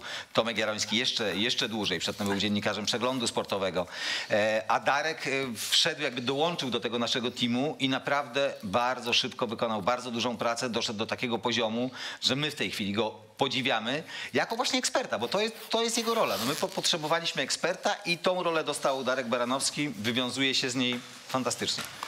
Adam, jesteś znakomity, właśnie się wywiązałeś doskonale z roli człowieka, który musi kupić No. sobie trochę czasu, kiedy ja się e, tutaj przebieram. E. Bardzo dziękujemy. Wiesz, tu się napisała taka piękna koszulka. Sorry, jest moja, nie oddaję. Nawet się z nią zmieściłem. Staszek, trochę- musisz kiedyś jakiś konkurs Staszek, muszę ci powiedzieć, słuchaj, czy to jest twoja koszulka? Tak, tak. To jednak jestem trochę większy i tutaj, ale chyba zwłaszcza głównie niestety tutaj na dole. I to jest, to jest... No, ty masz- jaką ty to tkankę to jest tłuszczową? Jakie ty masz tkankę tłuszczową? Około 7%. 7%. Jaką, jaki procent tkanki tłuszczowej mają, ma taka absolutna czołówka? Czy to są właśnie te... To też zależy pewnie od, Znaczy, To od od charakterystyki człowieka, kolarza, dokładnie. No. Tak, od no, zawodnika. to wiadomo, ta tkanka też się zmienia z, e, jakby z sezonem. W trakcie sezonu jest dużo niższa niż poza sezonem, bo gdzieś tej tkanki e, tłuszczowej nabieramy troszkę więcej e, w, okresie jakby tym wakacyjnym dla kolarzy listopad, grudzień. Natomiast od stycznia z powrotem zaczynamy to spalać. No myślę, że u ciebie kilka treningów i, i koszulka będzie pasowała jak ulał. Kurde, nie mam sobie nic do zarzucenia, jeśli o to, jeśli o to chodzi. Słuchajcie, a ja jeśli można, bo, No można, bo trzeba. jak słyszę te, te, te pytania, to e, na wiele z tych pytań i to tak dosyć szeroko odpowiada Staszek Aniołkowski w wywiadzie, który wczoraj, wczoraj z nim przeprowadziłem. Siedzieliśmy przez 40 minut, gadaliśmy. Mhm. E, Ten wywiad możecie zobaczyć na moim kanale Tour de Tour na, na, na, na YouTubie i zapraszam serdecznie, bo tam, tam długa nasza rozmowa, gdzie Staszek o wielu opowiadał o początkach swojej kariery, opowiadał o tym, gdzie trenuje, o swojej charakterystyce właśnie, także, także jakby ktoś chciał obejrzeć, to, to zapraszam. Gdzie Długa, mo- bo ponad 40 minut, ale... Gdzie, gdzie, gdzie to znaleźć? Tour de Tour. Tour de Tour. Taki Wpis- kanał jest na YouTubie, jest Okej. taki profil na Facebooku. E, To jest taki mój projekt służący wspólnej zab- zabawie jakby w kolarstwo. Tam są też rozmowy i z Michałem Kwiatkowskim, z Rafałem Majką, z Majką Włoszczowską właśnie, Mhm. o której wspominałeś, z wieloma, z wieloma innymi zawodnikami, zawodniczkami.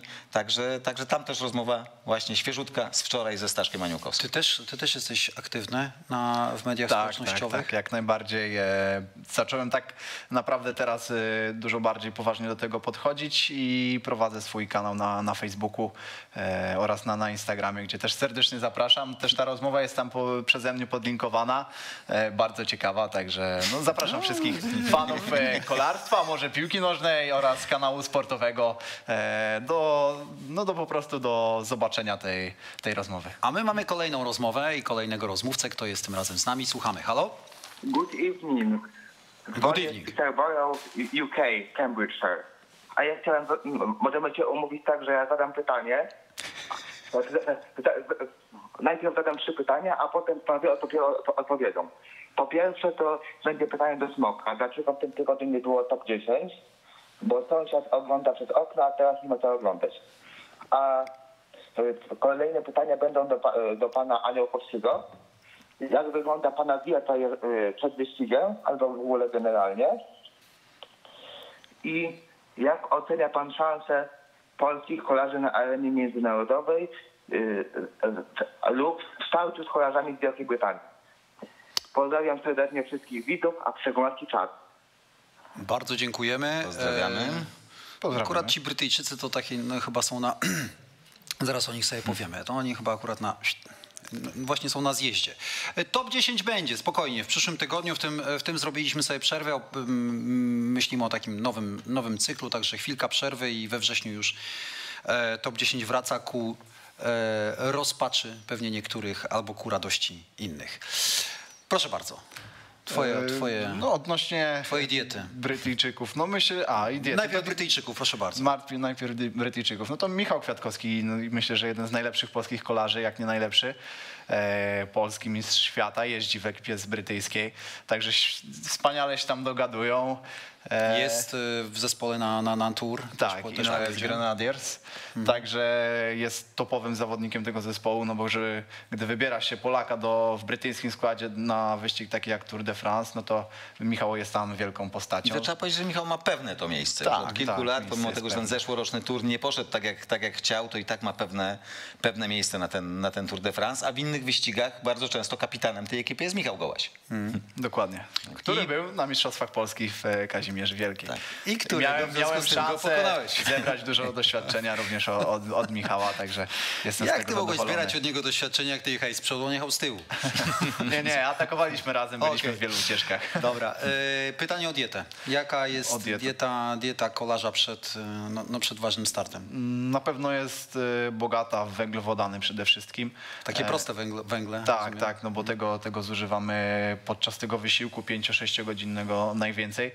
E, No taka moja dieta na przykład przed Mistrzostwami Polski to dzień wcześniej e, dużo, dużo właśnie makaronów, e, ryży oraz tam jakiegoś dobrego steaka też zjedliśmy, żeby ta Żadne energia na drugi dzień była, ale też kolejnego dnia rano nie było tak, że śniadanie było takie sote, tylko też naprawdę obfite owsianeczka z orzechami, później do tego jajecznica, co podpatrzyłem u Macieja Bodnara na zeszłorocznych Mistrzostwach Polski. Być może też mi to pomogło w tym roku w zdobyciu tytułu.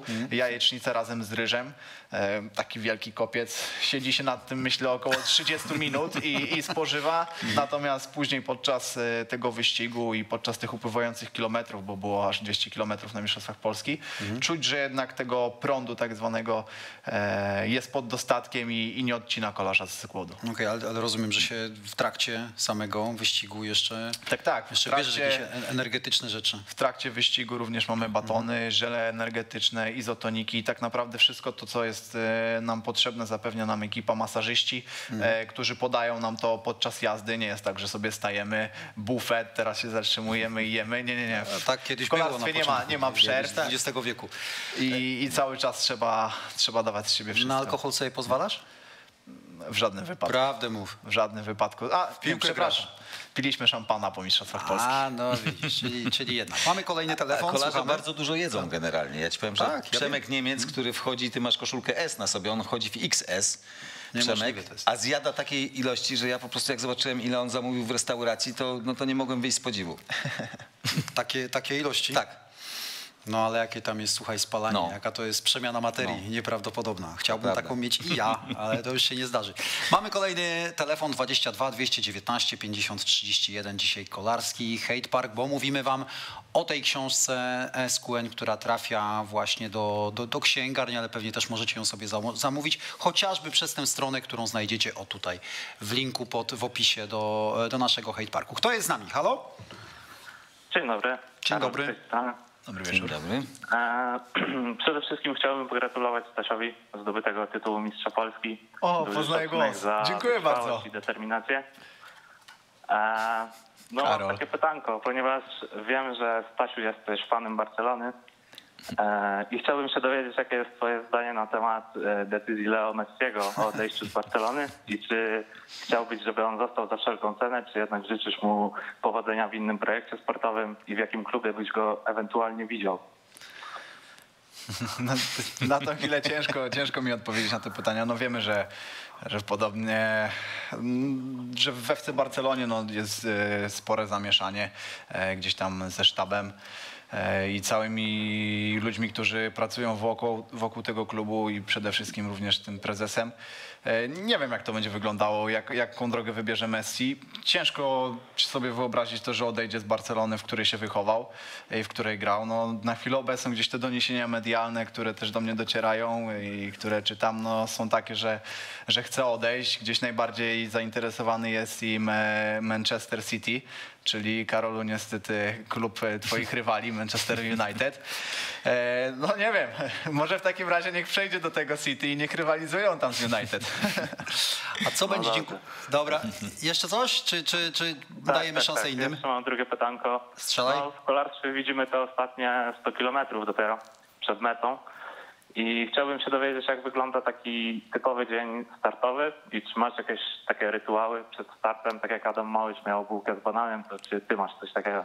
To ja, jeśli mogę tylko zdanie, y, od soboty Tour de France, każdy etap w Eurosporcie od startu do mety, a więc tam będzie można rzeczywiście zobaczyć pełne relacje, co się dzieje od startu do samego końca. Nawet od tego Także- startu honorowego, tak? Tego, tego tak, z tak, miast. także serdecznie, serdecznie zapraszam, bo, bo to rzeczywiście fajnie popatrzeć sobie czasem. Ja wiem, że nie wszyscy wytrzymują, nie każdy ma czas, żeby dziennie siedzieć tyle godzin przed telewizorem, ale generalnie fajnie popatrzeć na te etapy, jak one się rozgrywają od początku, tym bardziej, że część kolarzy jest widoczna, Staszek tak na, ma pracę swoją na pierwszych kilometrach, a tak potem już ich nie widać.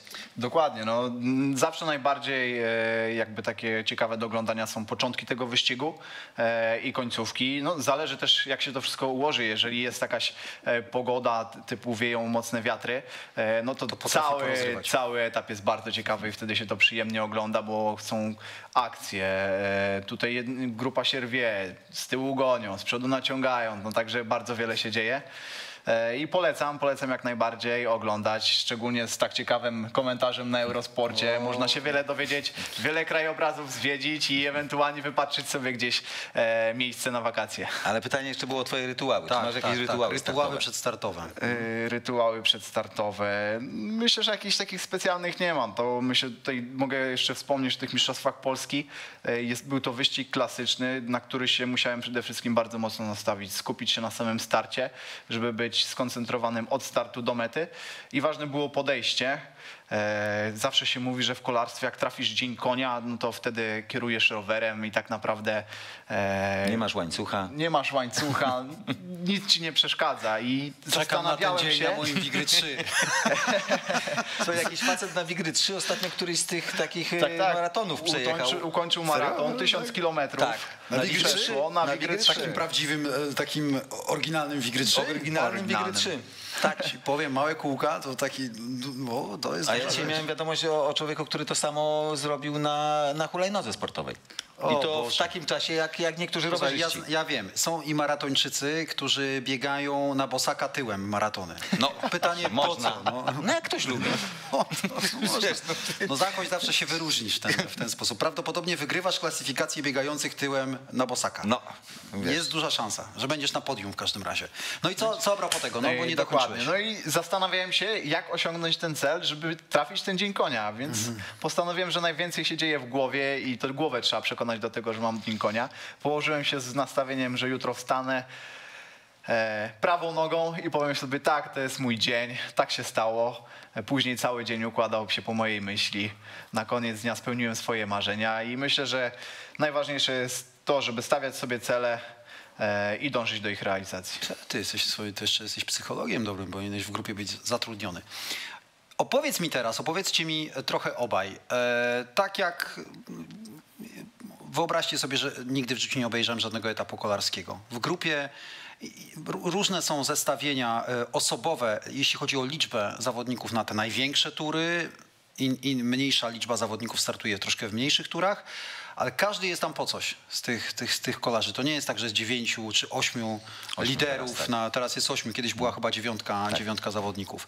W wyścigu pokoju wspominanym tutaj przez nas było sześciu tylko kolarzy. e, W kolarzy I też każdy miał swoją rolę. I też każdy miał swoją rolę. Opowiedzcie mi trochę, Staszek, opowiedz mi o, o rolach poszczególnych kolarzy. Bo właśnie są tacy, którzy tylko są widoczni na początku, na początkach etapu. Tak, tak. No, są wiadomo kibice, którzy nie do końca się orientują w kolarstwie i, i nie wiedzą tak naprawdę, e, dlaczego się mówi, że kolarstwo jest sportem zespołowym. Moim zdaniem no, kolarstwo jest naprawdę e, sportem zespołowym bardziej niż niejedna gra zespołowa. Tutaj się liczy ten zespół i bez zespołu tak naprawdę ci liderzy, ci co podnoszą ręce w geście triumfu na koniec, no, nie osiągnęliby tak naprawdę nic. Dobra, Są kolarze- przekonaj mnie w takim razie, że jest bardziej zespołowy niż sporty zespołowe. Opowiadaj mi o tych poszczególnych Są kolarzach. kolarze, którzy są odpowiedzialni za ochronę lidera. E, Co znaczy ochrona lidera? Czyli jeżdżą gdzieś e, blisko lidera, e, pomagają mu w jakichś kryzysowych momentach, czy też jeżeli trzeba przejść do przodu, bo jest nerwowo, będzie zaraz jakiś podjazd, czy wiemy, dostajemy na radio informacje, jeździmy z radiem od dyrektorów sportowych, że jest jakaś plama oleju czy coś e, na drodze, czy zbliżamy się do jakiegoś podjazdu, czy zaraz będą wiać silne wiatry. Wtedy ci pomocnicy wyprowadzają tego lidera naprzód i starają się go osłaniać od wiatru, no bo wiemy, że w kolarstwie bardzo ważny jest e, jakby tunel aerodynamiczny i opór wiatru. Tak naprawdę, jeśli porównywać to do tej mocy, którą e, możemy obserwować w swoich licznikach, kolarz pierwszy e, jedzie z trzykrotnie większą mocą niż kolarz czwarty, piąty za nim. E, Także no, są tacy kolarze, którzy są wyznaczeni do pomocy, Przy, przywożą liderowi jedzenie, picie. Dokładnie, te wachlarze. E, No, są kolarze odpowiedzialni za to, żeby ewentualnie oddać sprzęt e, takiemu liderowi, jeżeli już jest sytuacja e, takiego zagrożenia utraty czasu przez tego lidera, czy też zgubienia kontaktu z czołówką, bo nie ma tych aut e, często serwisowych za peletonem, bo grupy się rwą. E, gdzieś te auta zostają za jakąś kolejną grupką, lider zostaje z przodu, nagle ma defekt, no i co zrobić? No taki pomocnik musi mu wtedy oddać, oddać ten swój rower. To prawda i to jest, jeszcze jest na przykład tak, że wiesz, to bardzo ładnie to dzisiaj też było widać na tych Mistrzostwach Europy, jaką pracę wykonywała przez dużą część wyścigu Marta Lach, po to, żeby tam się nic nie porwało, żeby w końcu Kasia niewiadoma mogła pójść w tą ucieczkę, w którą, w którą chciała pójść. Ona cały czas, e, bo są kolarze na przykład, którzy mają za zadanie na pierwszych, nie wiem, 50 czy 100 kilometrach na przykład likwidować ucieczki. Tak, żeby żadna groźna akcja nie pojechała. Oni muszą być na czele peletonu, oni muszą pracować po to, żeby żadna groźna dla ich lidera akcja nie odjechała. Albo na przykład gonić ucieczkę.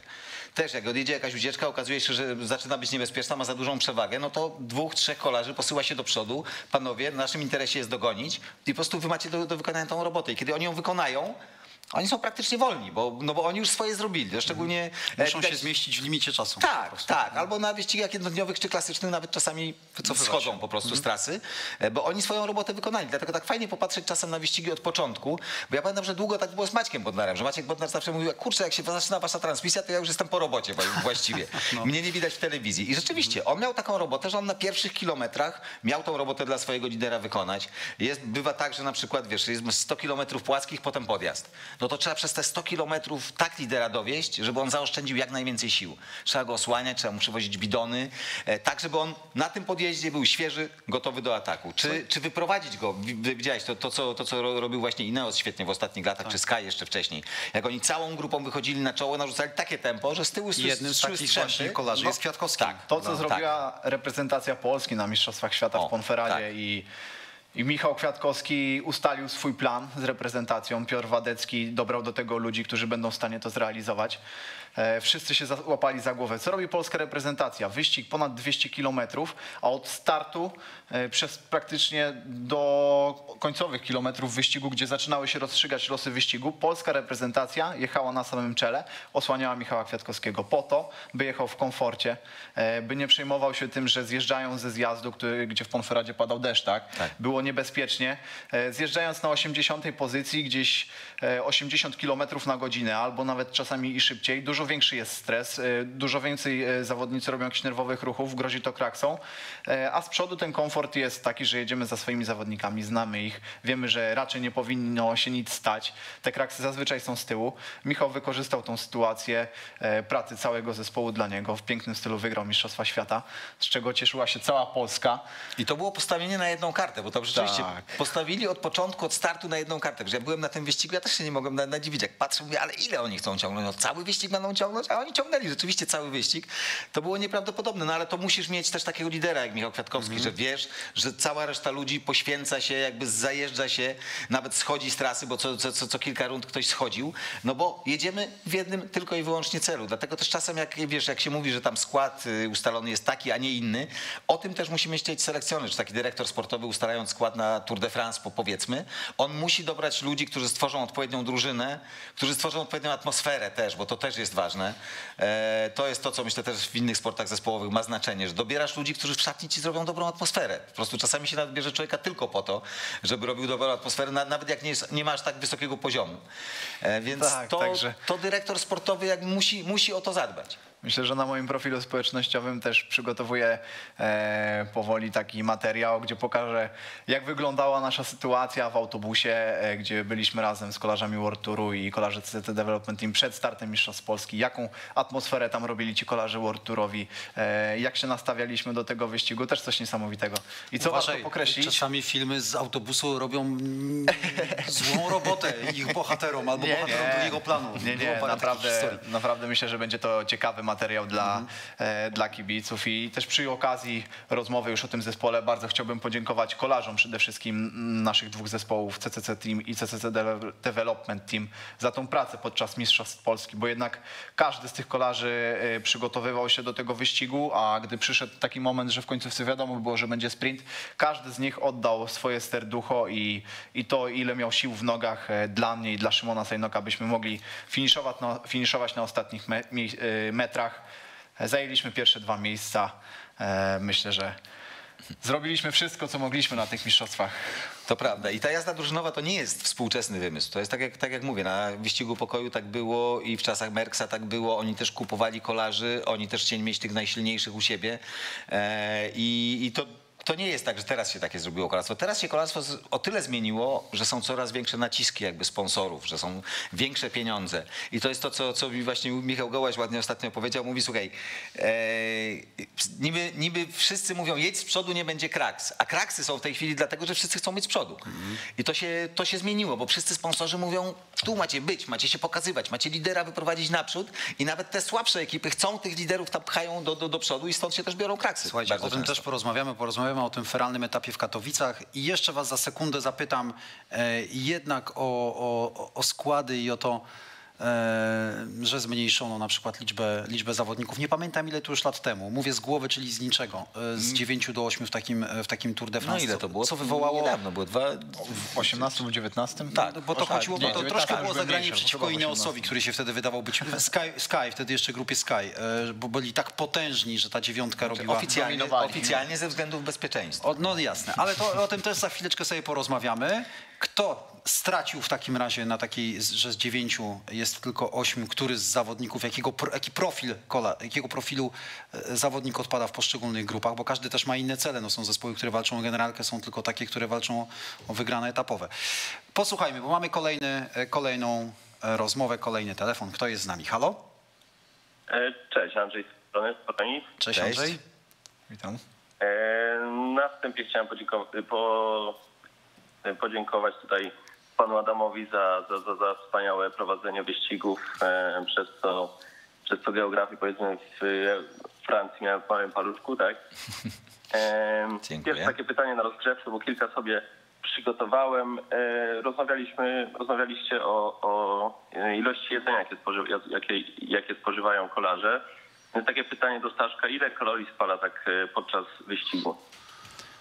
Yy, Myślę, że na starcie w Kazimierzy Wielkiej spaliłem około 4,5 tysiąca kilometrów. Yy, 4,5 Kalorii. tysiąca kalorii na 200 kilometrach. No nieźle. E, Także trzeba to uzupełniać pytanie. jak, energetyczny y, spory. Hmm? e, Tak, tak, słuchamy. Drugie pytanie. Halo, halo? Słuchamy? Słyszymy? Słyszymy cię bardzo dobrze, dawaj. Jak widzicie przyszłość polskiego kolarstwa? Yy, Pytanie bardzo ogólne, no ale, Ale- tu masz przyszłość, patrz, tu siedzi młodzież, przyszłość. Tak? Chodzi mi o Michała Palutę, chodzi mi o Staszka. E, jak to się przedstawia, bo tak pan Adam ma trochę większy, szerszy obraz, jeśli chodzi o tych zawodników, którzy dawniej startowali, tak? E, więc jak widzi po prostu e, naszych młodych e, zawodników e, na tle zawodników z innych krajów. Staszkowi znaczy- będzie niezręcznie na to odpowiadać. Ja Adam, myślę, że tak. Ja myślę, że, że tak generalnie to wszystko idzie, idzie falami. To jest tak, jak mamy w tej chwili falę e, znakomitych kolarzy ze Słowenii, których jeszcze, jeszcze pa, parę lat temu nie było. Ja pamiętam, jak zaczynałem komentować kolarstwo w Eurosporcie w 2000 roku, no to też mieliśmy tak, no niewielu tych kolarzy. Naprawdę wiele było wyścigów, gdzie mieliśmy tego jednego, biednego Sylwka Szmyda, na którym, jakby, w którym pokładaliśmy wszystkie nadzieje. Ja wiedziałem, jaka rola jest Sylwka w peletonie. Ja wiedziałem, dlaczego on jest tak, tak ceniony i dlaczego chcą go najlepsze ekipy, ale wielu kibiców nie rozumiało i mówiło mi wręcz, że, że co ja za bzdury opowiadam, że ja mówię, że to jest najlepszy polski kolarz, a on nie wygrywa. E, więc i wtedy, i potem przyszły czasy Michała Kwiatkowskiego, Rafała Majki, Maćka Bodnara, zwycięstw e, i Przemka Niemca na Buelcie i Tomka Marczyńskiego na Buelcie, więc przyszły lata wielkich sukcesów i teraz z kolei kibice czekają, że tak będzie cały czas, że to właściwie jak, y, co to, co to w ogóle za wynik, jak Majka jest w dwóch wielkich turach szósty, że co, co, co to jest? No to, to jest fantastyczny wynik, tylko że my się przyzwyczailiśmy do wielkich sukcesów. E, Dlatego ja myślę, że, że my się musimy pogodzić z tym, że to nie jest tak, że w każdym pokoleniu mamy wybitnych za- zawodników. Mamy wielkie talenty, e, mamy młodych kolarzy, którzy mam nadzieję, że się będą rozwijać, takich właśnie jak, e, jak Staszek. Mam nadzieję, że Staszek trafi do, do grupy World Tourowej, e, że będzie w tym peletonie, bo o tym też sobie wczoraj rozmawialiśmy, że my w Polsce mówimy, że kolarz 23 lata to jest młody kolarz. Bzdura, no Rem, Remco Evenepoel ma 20 lat i, i, i wygrywa. Już w tej chwili ten peleton zawodowy, ta następuje bardzo wyraźna zmiana warty. Ci młodzi kolarze właśnie wchodzą, oni robią rewolucję.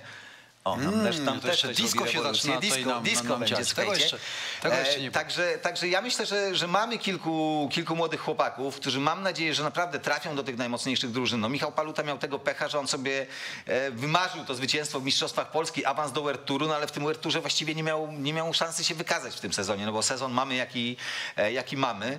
E, ale myślę, że Szymon Sajno, kolejny za, zawodnik, który mam nadzieję, że też no, po tym trzecim miejscu na Vuelcie w zeszłym roku, w tym roku właściwie Szymon też nie miał specjalnie specjalnie gdzie się pokazać.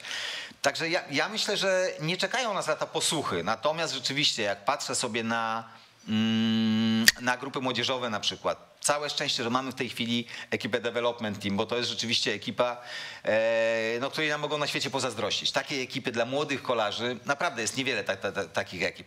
E, więc y, mam nadzieję, że ta ekipa będzie dalej, dalej istniała, bo stworzyła się taka fajna też ścieżka w Polsce, że jakby jest ten Kopernikus y, Michała Kwiatkowskiego, też y, sponsorowany przez CCC. Potem jest CCC Development, a potem była World Tourowa ekipa, czyli właściwie taka pierwszy raz w historii taka ścieżka się stworzyła dla kolarza, że można przejść całą tą drogę do, do tego zawodowego kolarstwa na najwyższym poziomie w Polsce. No i od razu No, cię zapytam, no i co będzie dalej? Bo wiemy, że pan Miłek, czyli szef CCC, bardzo poważnie rozważa, bo, bo jego, jego branżę, jego branżę też dotknęła epidemia i to w sposób bardzo poważny, umówmy się, więc on też się zastanawia, kolarstwo to jest bardzo droga zabawa. Tak. On ma na głowie no, no, parę ładnych głów do wyżywienia, więc No i kilka będzie ekip, dalej? bo zobacz, kilka bo jest, ekip do... jest Kopernikus, jest. Development, jest, Jest CCC Team i jest kobiecy CCC Leaf. A Właśnie. więc tych ekip jest na, na, naprawdę trochę. To jest olbrzymi, na olbrzymią skalę za, zakrojony projekt. No już była E, już jest zapowiedź, że nie z będzie Tego co wiemy. CCC Team nie będzie w przyszłym se- sezonie, więc ta jakby ta World Tourowa półka odpadnie, a więc znowu będzie trzeba szukać swojej szansy w ekipach z innych krajów. No ale też z drugiej strony popatrzmy, jakim krajem mocnym kolarsko są Włosi, a oni nie mają swojej ekipy World Tourowej od paru lat. Nie znajdują sponsora na taką ekipę.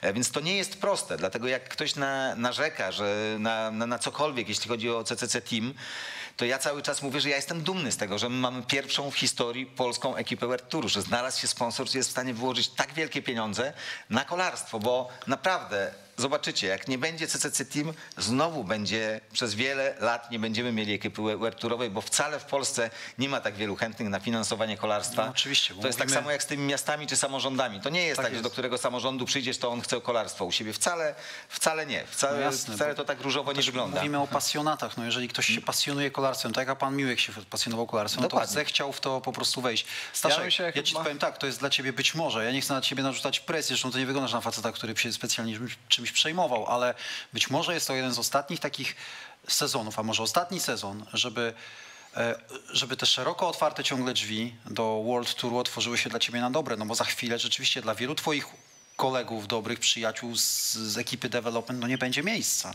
Ja myślę, że jeszcze bym się Tour. wstrzymał z tymi e, O, wiesz coś więcej? dywa- dywagacjami. E, no przede wszystkim warto podkreślić, że nasz sponsor, pan prezes Dariusz Miłek, był również sportowcem. Jak wiemy, każdy sportowiec walczy do końca i myślę, że tutaj walka o, o ten zespół i o ten fantastyczny projekt, który tak naprawdę zapoczątkował pan e, Dariusz Miłek, e, będzie, będzie o to walczył. Mamy drużynę juniorską, która współpracuje z Akademią Michała, Koperni- e, Michała Kwiatkowskiego, tak. CCC Kopernikus. E, Mamy nasz zespół, CCC Development Team. No, tutaj zawodnicy też e, widać, jak, jak ten zespół pracuje. Ilu zawodników e, potrafimy odnaleźć. Michał Paluta w zeszłym roku wygrywa Mistrzostwa Polski jako CCC Development CCC Development Team. W tym roku ta sztuka udaje się mi.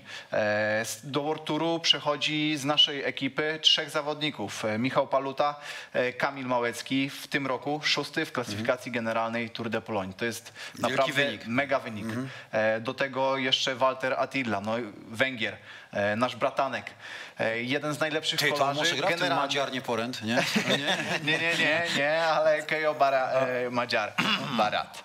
E, natomiast on też będzie jednym z e, kluczowych zawodników klasyfikacji generalnej i również w tym roku na Mistrzostwach Polski Szymon Krawczyk z naszego zespołu CCC Development Team zdominował konkurencję U23. Wygrał jazdę indywidualną na czas oraz wyścig ze startu wspólnego. Dalej mamy zespół CCC Leaf. No, kobiety, które wygrywają praktycznie większość wyścigów z tego kalendarza World Tourowego kobiet E, i gdzieś na tym samym szczycie jest zespół World Tourowy CCC e, Team, no, który również z powodzeniem e, startuje w wielu startach. Ma takie gwiazdy jak Greg Van Avermaet, jak Matteo Trentin. No, to jest naprawdę niesamowity projekt i myślę, że A od godziny jest nowy zawodnik też. Ej, tak, mamy, mamy kolejnego zawodnika. Młody, zdolny, perspektywiczny. Także, także myślę, że, że walka trwa i, i trzymajmy wszyscy kciuki za, za naszego sponsora, bo nie zostawił nas w tak ciężkiej chwili, jak e, była podczas tego lockdownu, e, gdzie wszystkie tak naprawdę sklepy CCC zostały w Polsce zamknięte, tak? E, mimo tego firma przetrwała. E, Nasze drużyny, jak widać, przetrwały. Wystartowaliśmy w Mistrzostwach Polski. Będziemy startować w Tour de France. No także Dobra, macie musimy się regularnie? cieszyć. Oczywiście, że tak. Naprawdę? Tak, tak. Jak No, najbardziej sponsor wywiązuje się z kontraktów. Panie Darku, Nigdy, nigdy nie było e, takiej ciągnie. sytuacji, e, żeby kolarze nie mieli zapłacone. Wiadomo, e, musieliśmy w jakimś stopniu też pomóc naszemu sponsorowi, także gdzieś Mhm. kontrakty w czasie lockdownu były renegocjonowane. Natomiast w chwili obecnej wszystko w naszym zespole wróciło do, do normy. Słuchajcie, tutaj mamy z jednej strony ktoś nam tutaj dziękuję, że może was posłuchać, coś konkretnego wieczorową, wieczorową porą. Bardzo jest nam z tego powodu sympatycznie. Miło, ktoś tak. napisał, że trudniej się, łatwiej się dodzwonić do, że łatwiej byłoby się dodzwonić do lekarza niż do kanału sportowego. No piszcie, jakby co, to jeszcze tutaj damy radę, radę przeczytać. Wystarczy ja 26, Obyście ale nie musieli się do rozmawia. lekarza dzwonić. Dobrze się, tak, dobrze. Bardzo mi się podoba swoją, twoją, swoją drogą twoja też koszulka Nupa Gadi. Mało kto jeszcze, kto oglądających wie o co A wiesz, co że w najnowszej wersji on już nie pali papierosów. Naprawdę? Czyli Oce- też jest, Ocenzurowali go. Nie, możliwe. Też jest To polityczny. już, nie, Nie, to, to to, już nie jest to ten nie, wilk. to To nie, to nie jest ten sensu. Wilki zając. Pewnie, pewnie wielu naszych widzów. Na przykład Staszek nie wie o co chodzi, kto to jest. Wiem, oglądałem. Serio? Jedna z moich ulubionych Bajek? Bajek. No, no to proszę bardzo. Chciałem was, e, e, nie wiem czy mamy kolejny Zajcu, telefon, ja ale jeszcze nie. pokażę. Mamy, mamy. Zajac Nupagadi, tak, ja ci jeszcze pokażę. Mamy kolejny telefon, to ja nie mogę wam zadać pytania, niech zadają widzowie. Ciągle tam patrzysz ja myślę, że tam się pokaże ten, kto do nas dzwoni, ale nie, nie, nie zobaczymy. Nie, to jeszcze nie mamy takiej. Nie. Ta, ta technologia. Nie, nie, bazujemy na telefonach. Był taki pomysł, żeby, się, żeby na Skype'ie, ale jednak, e, wiesz co, Pa- pamiętaj, program jest na żywo. A jakby na tym Skype'ie ktoś zaczął jakieś głupoty, chyba jak nam coś powie, no to, no to powie, no to trudno, ale no, jednak jeszcze, wiesz, mamy zaufanie, ale takie kontrolowane, ograniczone. Okej. Słuchamy, kto jest z nami? Dobry wieczór. Dobry wieczór. Strony Wieczór. Łukasz z Warszawy. Mam takie trzy pytania. E, Pierwsze, jakby panowie związani z kolarstwem mogli rozpropagować jeżdżenie w kaskach, ogólnie po mieście? Druga sprawa, jak pan Stanisław Anioł zapatrywałby się na swoją karierę, gdyby nie został kolarzem? Czy miał jakieś alternatywy, jedną, dwie, trzy bądź cztery na swoją karierę? Jakie ładne. bądź ścieżkę zawodową. A trzecia sprawa do pana redaktora Smokowskiego. Otóż niecałe, ponad dwa tygodnie temu rzuciłem panu wyzwanie w quizie pod napięciem. A, to pan. wyzwanie na antenie przyjął, aczkolwiek nikt y, z kanału sportowego nie wziął do mnie numeru. Bo to jak w pan tym poprosił? filmie. Zadzwonimy do pana, okej, okej, tylko nie mamy pana numeru, okej. Zatem y, nie wiem, czy pan y, redaktor Smokowski pamięta, co panu zaproponowałem. Pamiętam, Moja grę w quizie. Moja propozycja jest jak najbardziej aktualna i poważna, także czekam, Dobra. aż ktoś od państwa się do mnie odezwie. Dobra, to Dziękuję jest- bardzo i pozdrawiam. Dzięki wielkie. Adaś, ja tutaj do naszego wydawcy. O, już tutaj się do nas odezwał mi się Adaś, nasz wydawca e, dzisiejszego programu, Adam Sławiński na ucho. Proszę napisać do nas na Facebooku, odezwiemy się do pana. Okej. A teraz odpowiedzcie. odpowiedzcie Kaski wy. absolutnie tak, Staszek, Tak, pewnie się mam. ze mną zgodzisz. Ja nie Staszek, tu wyobrażam mamy- sobie wyjechania na rower bez kasku. Yy, Wszędzie w jeździsz mojej w kasku? zawodowej karierze. Wszędzie jeździsz w kasku? Wszędzie. Gdy wsiadam tylko na mój rower szasowy, zakładam kask. Jeżeli go nie założę, no, często jest taka sytuacja, że e, jedziemy na prezentację ekip e, 500 metrów do, e, na scenę z autobusu do, na, to, na tą scenę, to, to już czuję się niekomfortowo. Bez Ju, już mi tego brakuje, już wiem, że coś jest nie tak. E, kask w mojej karierze kilka razy uratował mi życie, bo takich kasków podobnych jak ten e, mam połamanych e, w swoim domu, myślę, że z trzy. E, Gdzieś, gdzieś po kraksie. E, Cały kask przyjmuje na siebie wtedy to, to uderzenie i tą moc, ten impet. E, I myślę, że naprawdę jest w stanie niekiedy uratować komuś życie. Bez hitu. Chcę ci powiedzieć, to jest akurat kask Majki, Majki Włoszczowskiej, podpisany przez nią. Mam nadzieję, że Majka też do nas mm, przyjedzie kiedyś. Nawet jestem z nią umówiony już, że przyjedzie na, na mój pierwszy raz i, i będzie odpowiadała. To jest taki format. Zachęcam was do oglądania. Jeszcze kolarza nie było, ale, ale na pewno będzie. Natomiast ja też w swoich przygodach w nauce kolarstwa muszę, muszę wam powiedzieć, że miałem taką, e, miałem taki wypadek, zupełnie wydawałoby się niegroźny. Upadłem na, e, gdzieś mnie tam zatelepało, no nie panowałem jeszcze nad rowerem zbyt, zbyt dobrze, ale upadłem w, w piach, w piach. Natomiast uderzyłem głową o ziemię, nawet nie wiem kiedy, kask pękł, no myślę, że to po prostu to, to, to by przyjęła moja głowa, no tak by pewnie...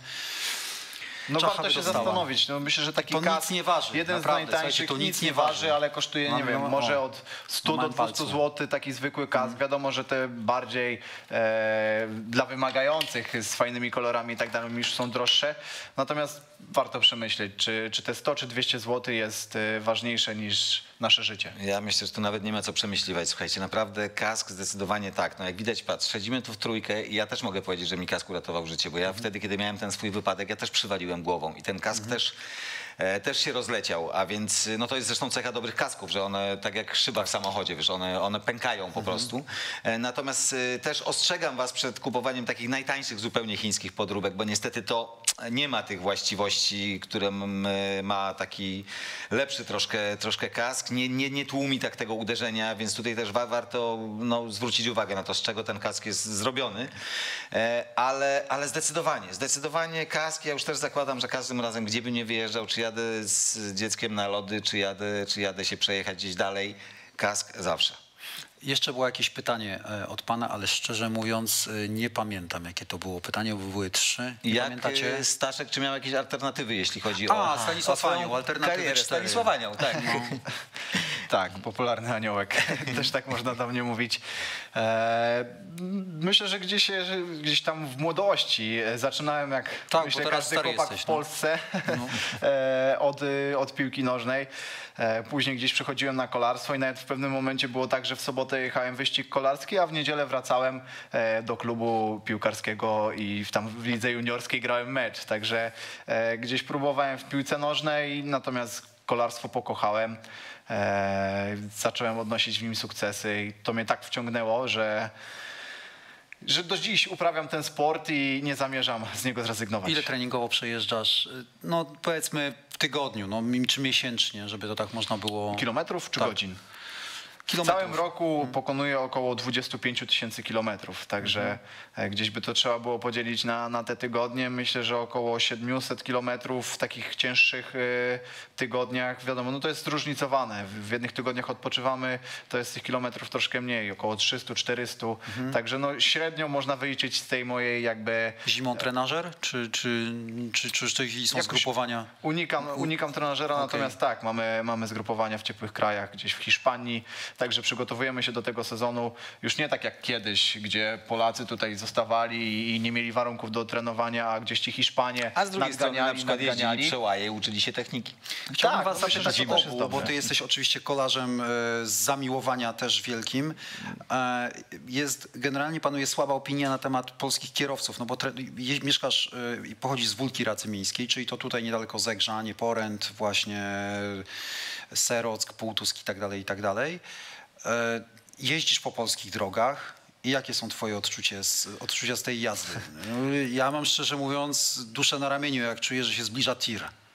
Tak, no jest, jest duża nerwowość. No też nie wiem, nie rozumiem. No, kierowcy tira to też są, e, zawod, są zawodowymi kierowcami, więc jeśli mijają nas w odległości półtora metra, czy nawet y, no, mniejszej tej odległości tirem, 80 km na godzinę, gdy no, ja jeżdżę około 40, tak, że to, ta prędkość jest, e, no i tak jest dużo większa tego tira i ten powiew powietrza, który idzie za tirem, no po prostu wciąga nas pod, pod koła tego samochodu, więc nie rozumiem takich sytuacji, gdzie gdzieś właśnie ci kierowcy próbują się na styki przecisnąć, czy nawet samochodami osobowymi. No pamiętajmy, że w samochodzie, ja sam też jestem kierowcą, e, w samochodzie możemy sobie uszkodzić e, co najwyżej lusterko, no może troszkę lakier, a innego człowieka, tego e, kolarza na rowerze po prostu zabić, pozbawić go życia, więc tutaj taki apel do kierowców, żeby no może gdzieś tam warto się czasami spóźnić, niż później mieć człowieka na sumieniu. Tak, ja też zawsze proszę o to, żebyśmy się nawzajem szanowali na drogach. Tym bardziej, że ja ciągle nie widzę tego przełożenia, bo na przykład w takich krajach jak Belgia czy Holandia, które można uznać tu za takie modelowe, e, modelowe to, to, to, to mm, współżycie na, na, na, na ulicach. drodze. No, no bo, bo rzeczywiście tam właściwie każdy kierowca jeździ na rowerze, każdy rowerzysta jeździ samochodem, w związku z czym oni się rozumieją nawzajem. Ale wydawało mi się, że w Polsce jakby no, widzimy ostatnio boom na rowery. Widzimy, że tysiące ludzi wsiada na, na, na rowery, którzy nie jeździli wcześniej i że to się też zacznie przekładać na zachowania kierowców, a jakoś ciągle jeszcze tego niestety nie widzę.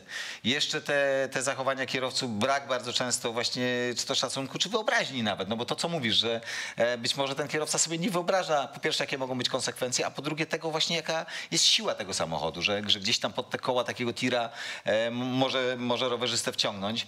Także ja ciągle nawołuję do tego, żebyśmy się nawzajem szanowali i nawzajem szanowali przepisy, bo, bo tu kolarze też nie są bez, bez winy. To znaczy, wiesz, tu też się często zdarza i bez światła jazda wieczorem i przejeżdżanie na czerwonym i tak dalej, i tak dalej. E, więc y, umówmy się, to też te pretensje kierowców do rowerzystów też bywają czasami uzasadnione. Natomiast y, no fajnie jakbyśmy się nawzajem zaczęli szanować. Fajnie jakbyśmy jedni myśleli po prostu o, o drugich na, na, na drodze. To prawda. E, Mamy telefon 219 50 31. Dobrze się rozmawia. Słuchajcie, zobaczcie, już jest 23.35. Jak tak dobrze pociągniemy, to dociągniemy e, do północy. Spieszy wam się gdzieś? To Staszek prosto do samochodu Staszek? do nie, hotelu. no to- nie, jak najbardziej też A jakie masz dalsze plany? Na, na, na, E, Jutro po- wyjeżdżam na wyścig, natomiast w godzinach popołudniowych, także jak Jeszcze najbardziej. spokojnie? No to pociągniemy, bo taka wiesz, no, taka, taka, taka, taki, taki standardowy hate park to dwie godziny, więc póki jeszcze Bardzo ludzie się dzwonią- cieszymy, że, że są pytania, są No zobacz, telefony, no, są także dokładnie, jednak to dokładnie. Zainteresowanie kolarstwem jest. Proszę, oczywiście. I mamy kolejny telefon i jest już z nami ktoś. Proszę bardzo, kto jest z nami? Dobry wieczór panowie. Dobry, wieczór. Y, Ja mam pytanie do panów ekspertów y, odnośnie nadziei polskiego kolarstwa Mateusza y, Żmigrodzkiego. Czy co panowie sądzą y, o tym kolarzu i czy on osiągnie coś, czy, czy nie osiągnie, jak to się panowie rozpatrują na to? Jak myślisz, Staszku? Chodzi o młodzieżowca? Mm, To on To jest... Mateusz, Mateusz Żmigrodzki. On to jest bardzo ciekawa y, historia, bo on przez kilka lat pracował na Białorusi, wrócił do Polski i teraz zaczął właśnie jeździć na rowerze wyczynowo i mam Znaczy pytanie, jest czy- już czy w grupie zawodowej, czy po prostu amatorsko trenuje i odnosi sukcesy w, w kolarstwie amatorskim? Y, On tam w Sandomierzu jeździ. On tam w Sandomierzu ćwiczy, może panowie słyszeli o Mateuszu No, szczerze mówiąc, niestety Nazwisko- ja nie słyszałem. Natomiast słyszałem. życzymy powodzenia. E, Gdzieś myślę, że te sukcesy, jeżeli są i, i nadal będą e, w przyszłości, będzie się ten kolarz potwierdzał, no to życzę mu to są też dwie, dwie różne sprawy. Najlepsze jest to, że ten kolarz to on jeszcze do tego z policją współpracuje bardzo, bo on w Sandomierzu jeździ i się ojciec Mateusz nazywa. Ja już, y, No dobra. Mateusz, Y, z, z, bardzo Ci Ja dziękujemy. Dziękuję, Żmigrodzki znam. dziękuję. Trzymaj się, znam trzymaj się na razie. Słuchaj, chci- chciałbym, chciałbym wrócić do, chciałbym wrócić do, do, do z turu. Zapyta, e, zapytałem was o tę, o tę zmniejszoną liczbę zawodników z 9 do 8. Kto wypada z takiego zespołu? Powiedzieliście mi wiele o rolach. E, jakie mają kolarze?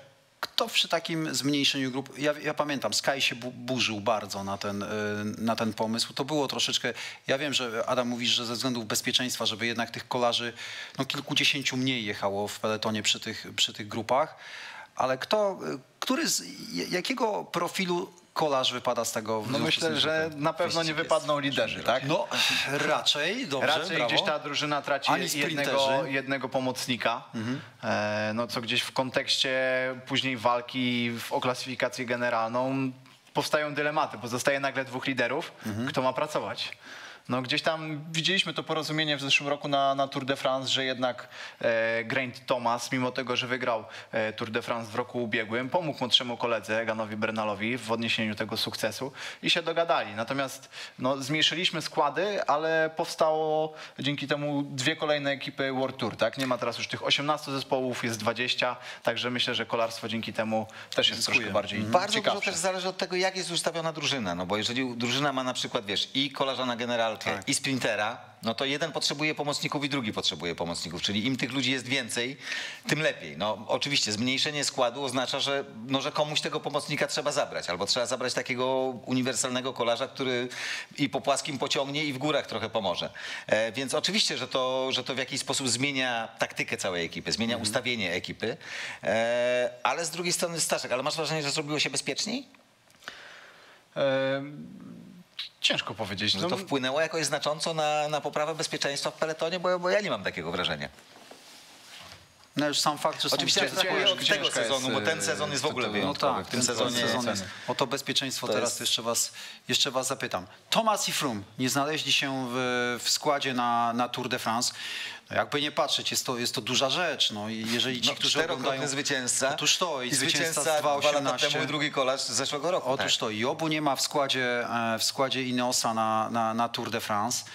E, Obaj słabo pojechali do Fine, prawda, bo, bo w ogóle byli ym, no, kompletnie nie, nieistotni, ale czy, czy to w ogóle należy uznać za, za, nie, za niespodziankę, czy za pewną jakby konsekwencje no, tego, że, że powoli obaj stają się już po prostu e, przeszłością? Ja myślę, że tu kilka rzeczy trzeba brać pod uwagę. Po pierwsze, e, tak jak ktoś tam pytał o tych Brytyjczyków, no to są Brytyjczycy To w są- no brytyjskiej właśnie, drużynie, tak? tak. Więc, Więc w ogóle dla, duża rzecz. Jakby dla m, brytyjskiego sponsora ekipy, no ta, taki fakt może być lekko szokujący. No to ale- jest oczyszczenie pola dla Bernala, E, że wiadomo, kto jest liderem tego zespołu. Tak, to, to jest jasna sytuacja, tym bardziej te wypowiedzi Bernala, Fruma to były takie, wiesz, no jeden Tak. i drugi, no, no Frum sobie nie wyobrażał, żeby on jechał nie, nie po to, żeby wygrać. Mhm. No czterokrotny zwycięzca, po co ma jechać na Tour de France? Przecież nie, nie żeby pomagać. Natomiast e, rzeczywiście selekcja była bezwzględna, absolutnie. Znaczy selekcja nastąpiła po Dauphiné i kto tutaj potrafił dojeżdżać w tej najlepszej dziesiątce, piętnastce, ten, ten, ten jedzie Tour de France. E, I i jest jeszcze kolejna sprawa, czyli to, że Frum podpisał kontrakt już z nową ekipą.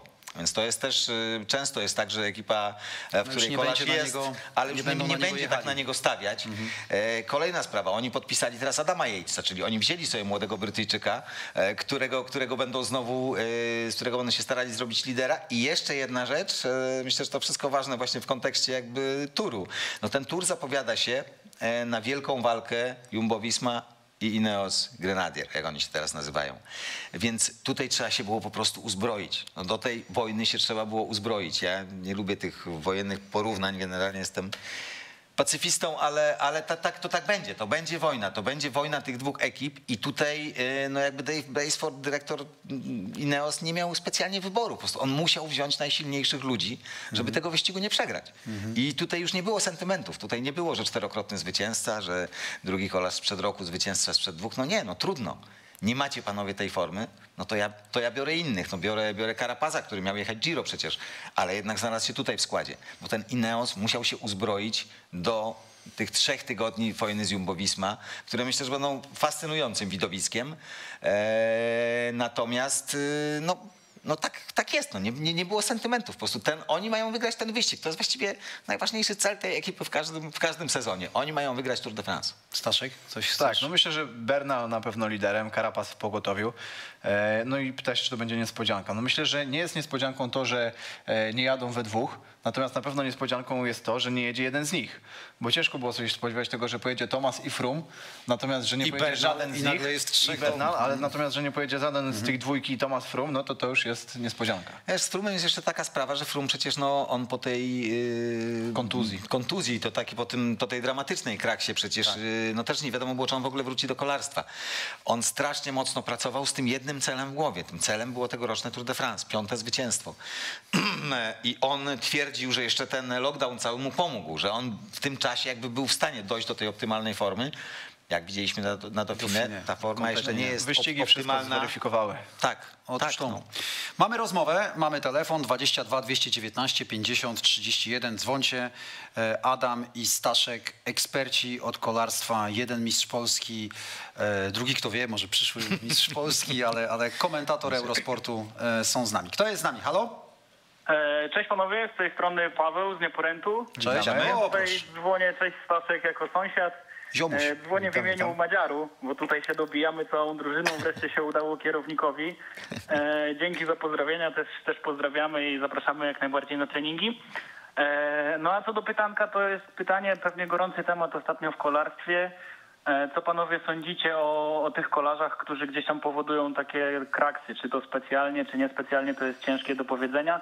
Ale no co, jakie, jakie konsekwencje wyciągać wobec nich? Okej, no i to jest właśnie ciekawy temat, do którego też chciałem nawiązać. E, Pierwszy etap Tour de Pologne, meta usytuowana w Katowicach, meta na lekkim zjeździe dodatkowo i to to też powoduje, jak, z jaką oni prędkością jechali? Około 80 km 80 na na godzinę. godzinę, Jest to no to jest- jeden z to najszybszych w ogóle finiszy w Worturze. Myślę, że czegoś takiego podobnego na świecie nie ma. No, nie Tak, bez to- powodu się mówi, że jest to tak zwana świątynia, świątynia, e, świątynia sprintu. tak. Słuchajcie, to wyglądało rzeczywiście porażająco i nawet nie z tych kamer usytuowanych za metą, które jednak skracają trochę obraz i nie widać tej, tej szybkości kolarzy, ale tam ktoś na, e, zaraz za linią mety, tuż obok tego tego sędziego, e, ktoś stał obok tego sędziego i kręcił z telefonu komórkowego i tam dopiero widać tę nieprawdopodobną prędkość tego wagonu, który jedzie, ci rozpędzeni kolarze, ten y, Jakobsen, który, Fabio Jakobsen, tak, tak, który przelatuje przez, przez barierki. Dzisiaj przeczytałem, że w klawiaturze zębów został mu jeden własny, że ma 130 szwów na, na twarzy. No No nie, nie, no, jakieś nie szokujące, to- to- to- to- szokujące, tak. szokujące rzeczy. Natomiast y, to znaczy tak, ja myślę, że y, niestety tak jest, że faule są wpisane w sport. Tak generalnie jest, że jak y, sprinterzy idą w, y, no my mówimy często, że mają klapki na oczach i jak ostatnio rozmawiałem ze Staszkiem, to też mówi, że tak ten stan świadomości, ta świadomość bardzo zawęża, że właściwie przestajesz odbierać te bodźce z zewnątrz, że zamykasz się tylko na tym jednym konkretnym celu. E, W związku z tym czasami te rzeczy robi się zupełnie nieświadomie.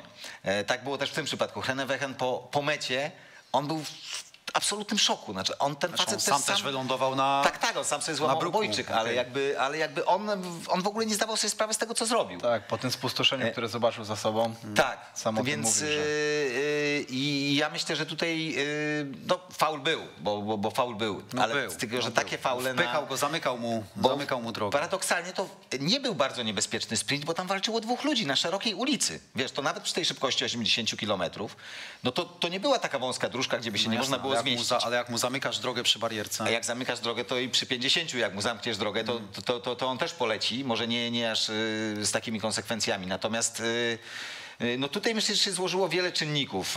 Pierwsze głosy były takie i ja też miałem taką myśl na początku, że dobra, to koniec finiszu w Katowicach, on nigdy więcej nie powinien być organizowany. A potem sobie pomyślałem i tak z Tomkiem Renauskim też, też rozmawialiśmy, Tomek też tak mówi, no zobacz, mówi, każdy wyścig buduje jakieś swoje legendy. E, No i ten sprint w Katowicach też w pewnym sensie stał się takim legendarnym sprintem Tour de Pologne, że właściwie Kurczę, co no, roku no, nie, nie tylko, nie tylko no. dziennikarze, ale wszyscy się zastanawiali, jak oni w tym roku pojadą szybko, kto pobije ten rekord prędkości i rzeczywiście, no może, może to, tak jak z kolei mówią niektórzy, także kolarze, to była tykająca bomba. No może, może i tak, ale z drugiej strony, e, rzeczywiście jak spojrzysz na ten e, sprint tak na zimno, to tamten po jednej stronie tej Korfantego pod górkę peleton się rozciąga. Tutaj zjeżdżają i właściwie zawsze tam walczy tylko, tam, tam nie, nie idzie nigdy grupa kolarzy ławą. Tam zawsze walczy dwóch, trzech zawodników, którzy, którzy ten sprint wytrzymali. E, Więc no jakby od tej strony patrząc, to nie jest najniebezpieczniejszy sprint na świecie. Są, są bardziej niebezpieczne sprinty. Są sprinty po, po zakrętach, są sprinty, jest no, w, w, by- bywają na tych mniejszych szczególnie wy- wyścigach bardzo nie, niebezpieczne sprinty. E, Więc tutaj, tutaj myślę, że to oj, mnóstwo okoliczności się na to złożyło. Przede wszystkim moim zdaniem ta nerwowość w peletonie, bo to jest coś, Czyli te kontrakty, co po tym lockdownie, tak, no po prostu i nigdy nie wiesz, kiedy ten sezon się skończy. być albo nie być dla- Każdy dzień może być ostatni. Ty, powiedz mi, co ty myślisz, co się mówiło u ciebie w grupie młodych ludzi w zespole CCC Development, kiedy zobaczyliście, zobaczyliście ten, ten, ten finish, no dramatycznie wyglądający finish pierwszego etapu Tour de, Tour de Pologne i od razu cię zapytam, ja widzę, że ty jesteś nie z tych bojących się, ale, ale tak z ręką na sercu. No gdybyś miał się tam znaleźć w tej pierwszej linii tego, e, no nie wiem, może w drugim czy trzecim szeregu e, za nimi, nie miałbyś dzisiaj takiego lekkiego cykora, że, e, że trzeba się tam ścigać właśnie w dół tej, z tą prędkością szaloną, prędkością 80 na godzinę? No jest to specyficzny finish i wszyscy wiedzieli, jak, je, jak, jak to będzie wyglądać. To nie było tak, że oni przejechali tam raz. Ja tam wiem. było kilka rund. Oni co, ale co zapoznali więcej, się z tym co finishem. więcej, e, rok wcześniej przecież też był finish na, na Katowicach, dokładnie w tym samym miejscu i nie było żadnego zgłoszenia z żadnej grupy zawodowej do organizatorów, do Czesława Langa, Od że coś jest 10 nie halo. lat tam finish jest No właśnie, no więc Od otóż to, 10 nie było żadnej, nie było nigdy żadnego zgłoszenia, czyli kolarze zdają sobie sprawę, no, do, na, z czym się mierzą. No myślę, że to jednak ta presja wyniku e, doprowadziła do, do tej sytuacji, bo nawet w momencie, gdy, gdy Fabio już zaczął wychodzić dużo szybszą prędkością Dylanowi e, i on widział tak naprawdę, no jest, sprinter jest też w ogromnym amoku, no on jest skupiony tylko na jednym, na zwycięstwie. E, i, i też tym momencie, w tej jednej sekundzie on wkłada 100% swojej energii w pedały, w te korby, żeby ten rower jechał jak najszybciej. E, Nie było, myślę, jego zamysłem to, żeby doprowadzić do, do takiej kraksy, w konsekwencji do takich skutków zdrowotnych. Oczywiście, Na pewno nie chciał tego zrobić. Na pewno tym nie bardziej, chciał tego w ten sposób, ale na pewno, ale na pewno wiedział, co robi. No, tak, tym bardziej, ruch- że Fabio jest jego kolegą z drużyny narodowej. E, tak, natomiast rodacy. zasz- zaczynam się też zastanawiać, dlaczego Fabio doskonale zna przepisy.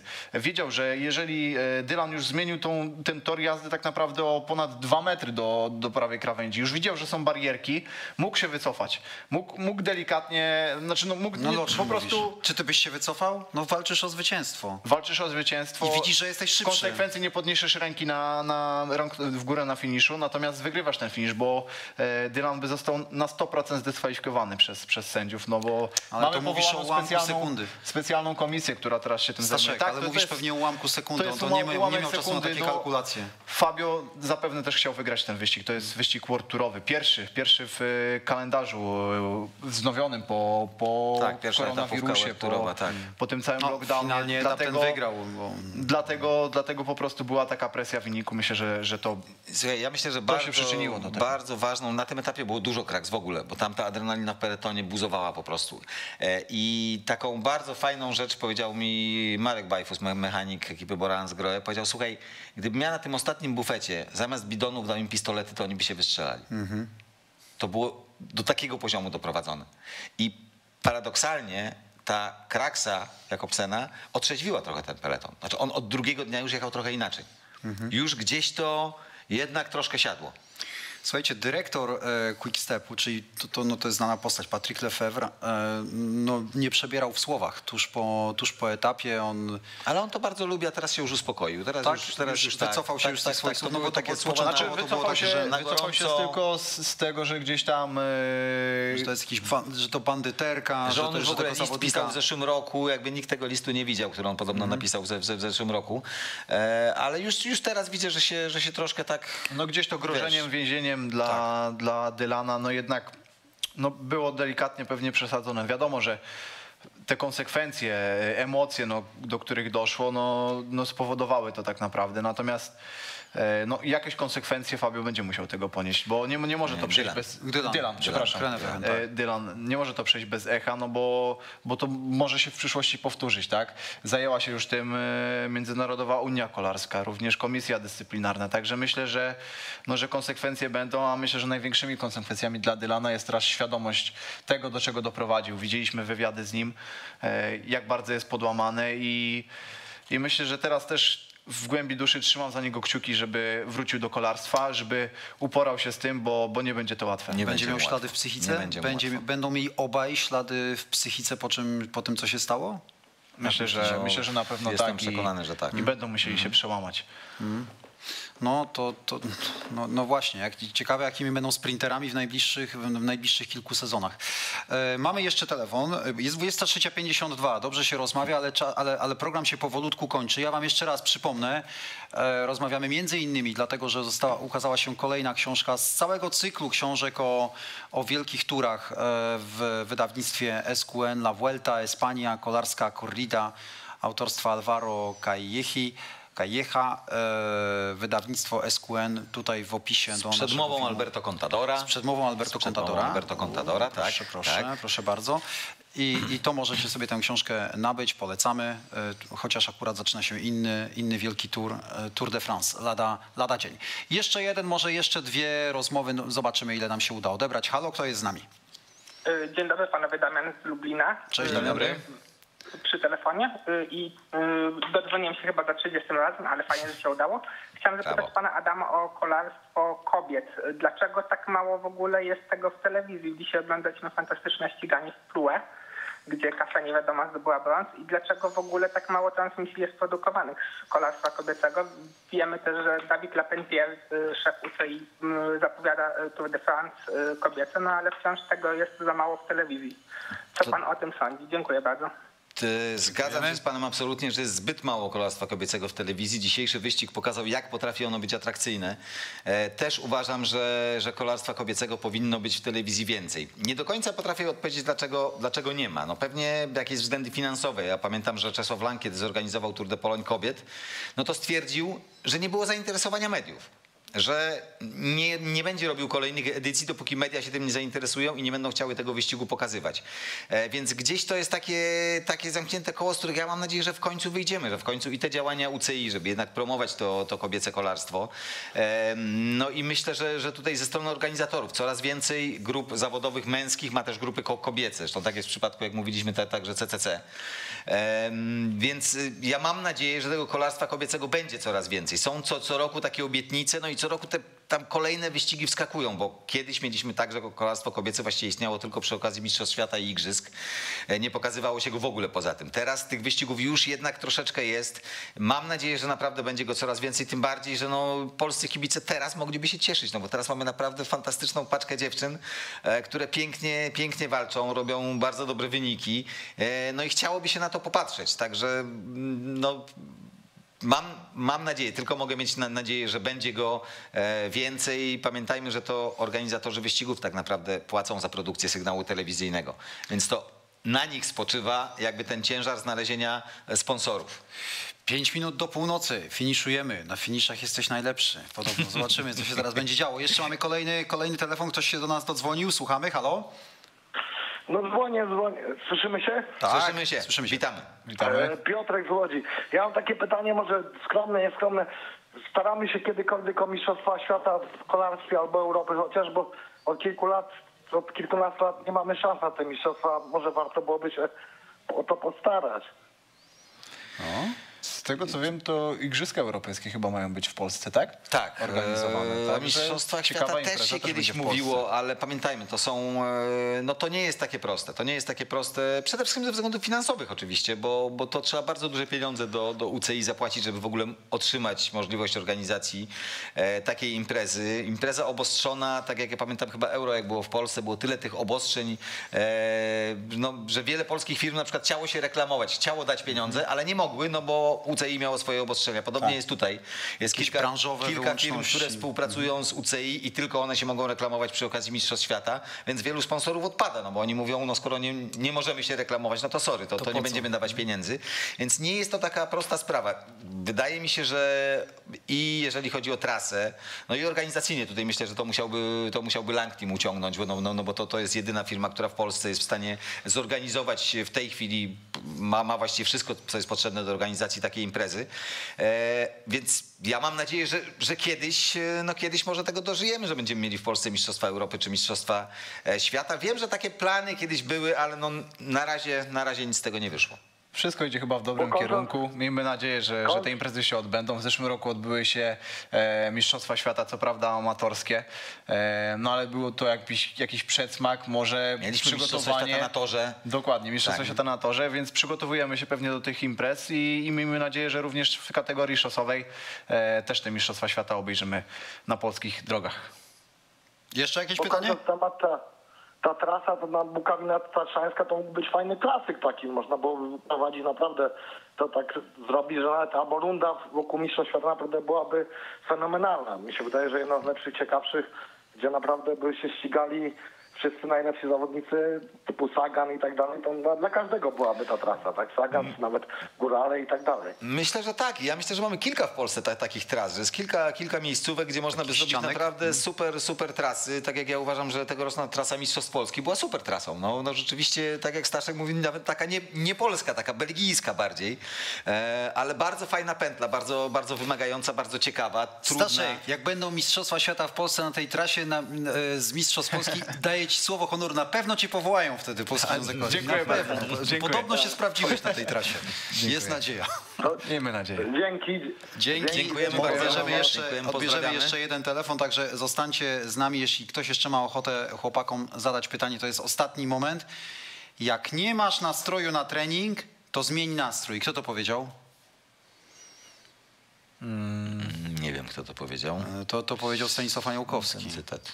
W kategorii Czy- czy- juniorskiej, czy- dokładnie. Ale ja zaczerpnąłem ten, zaczerpnąłem Też ten od e, kogoś? cytat, dlatego A, starałem sobie przypomnieć po prostu. A to tak, to nie wiem. Ja to przeczytałem w twoim, w twoim wydaniu. Czy tobie się zdarza nie pójść na trening, bo ci się nie chce?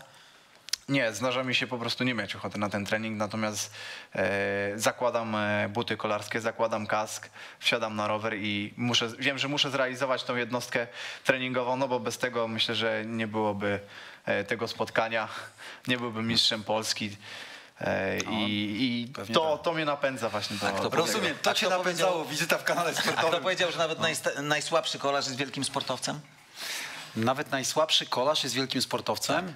Mm, no nie wiem, może Merckx? Marco Pantani. Marco Pantani. Tak. Czytałem tę biografię Pantaniego ostatnio. Tam pada to zdanie? E, chyba nie, w tej Mm, biografii Ja nie wiem, czy ona tam pada. Chyba nie, Nie, chyba nie, Chyba nie, nie, nie wiem, ale chyba no, to jest taki jeden z bardziej znanych kolarskich cytatów, bo właśnie to było na temat tego, że Dlatego czasem, to ty komentujesz kolarstwo, czasem ja się nie. mówi o kimś, o kolarzu, że jest, wiesz, woziwodą, czy pomagierem, czy innym. Ja nigdy nie używam takich zwrotów, bo dla mnie każdy z tych kolarzy ma naprawdę swoją ogromną robotę do wykonania i po to, żeby być tam, na tym miejscu tego gregario w grupie, to trzeba naprawdę przez wiele, wiele lat ciężko harować. To ja ci teraz coś powiem na koniec tego, tego programu a propos komentarza, e, komentarza e, telewizyjnego, bo chcę cię o to zapytać jeszcze za sekundę, ale wcześniej odbierzemy ostatni już dzisiaj telefon. Będę miał potem do was jeszcze po pytanku i taką zabawę, którą sobie wymyśliłem właśnie te 2-3 tygodnie temu. Zabawimy się w skojarzenia. Zaraz wam wyjaśnię, na czym to będzie polegało. Okej. Halo? Kto jest z nami? Cześć, serdecznie Tomek z tej strony. Cześć, Cześć. Tomek. Mam takie dwa pytania. Je- Jedno do Staszka. Wspomniał, że był piłkarzem. Komu kibicuje? To jest z polskiej ekstraklasy. I takie jedno do ciebie, Tomek. Jak zapatrujesz na porażkę dzisiejszą e, Krakowi w takim ciężkim, słabym stylu i wczorajszą Legii? E, wiesz co, kolarski program, także nie chcę dzisiaj, pogadamy sobie o tym. No, no co, Aha, no, to, no to nie, ma problemu, nie ma problemu, to wtedy takie pytanie o Tour de France zadam Staszkowi tutaj. e, O.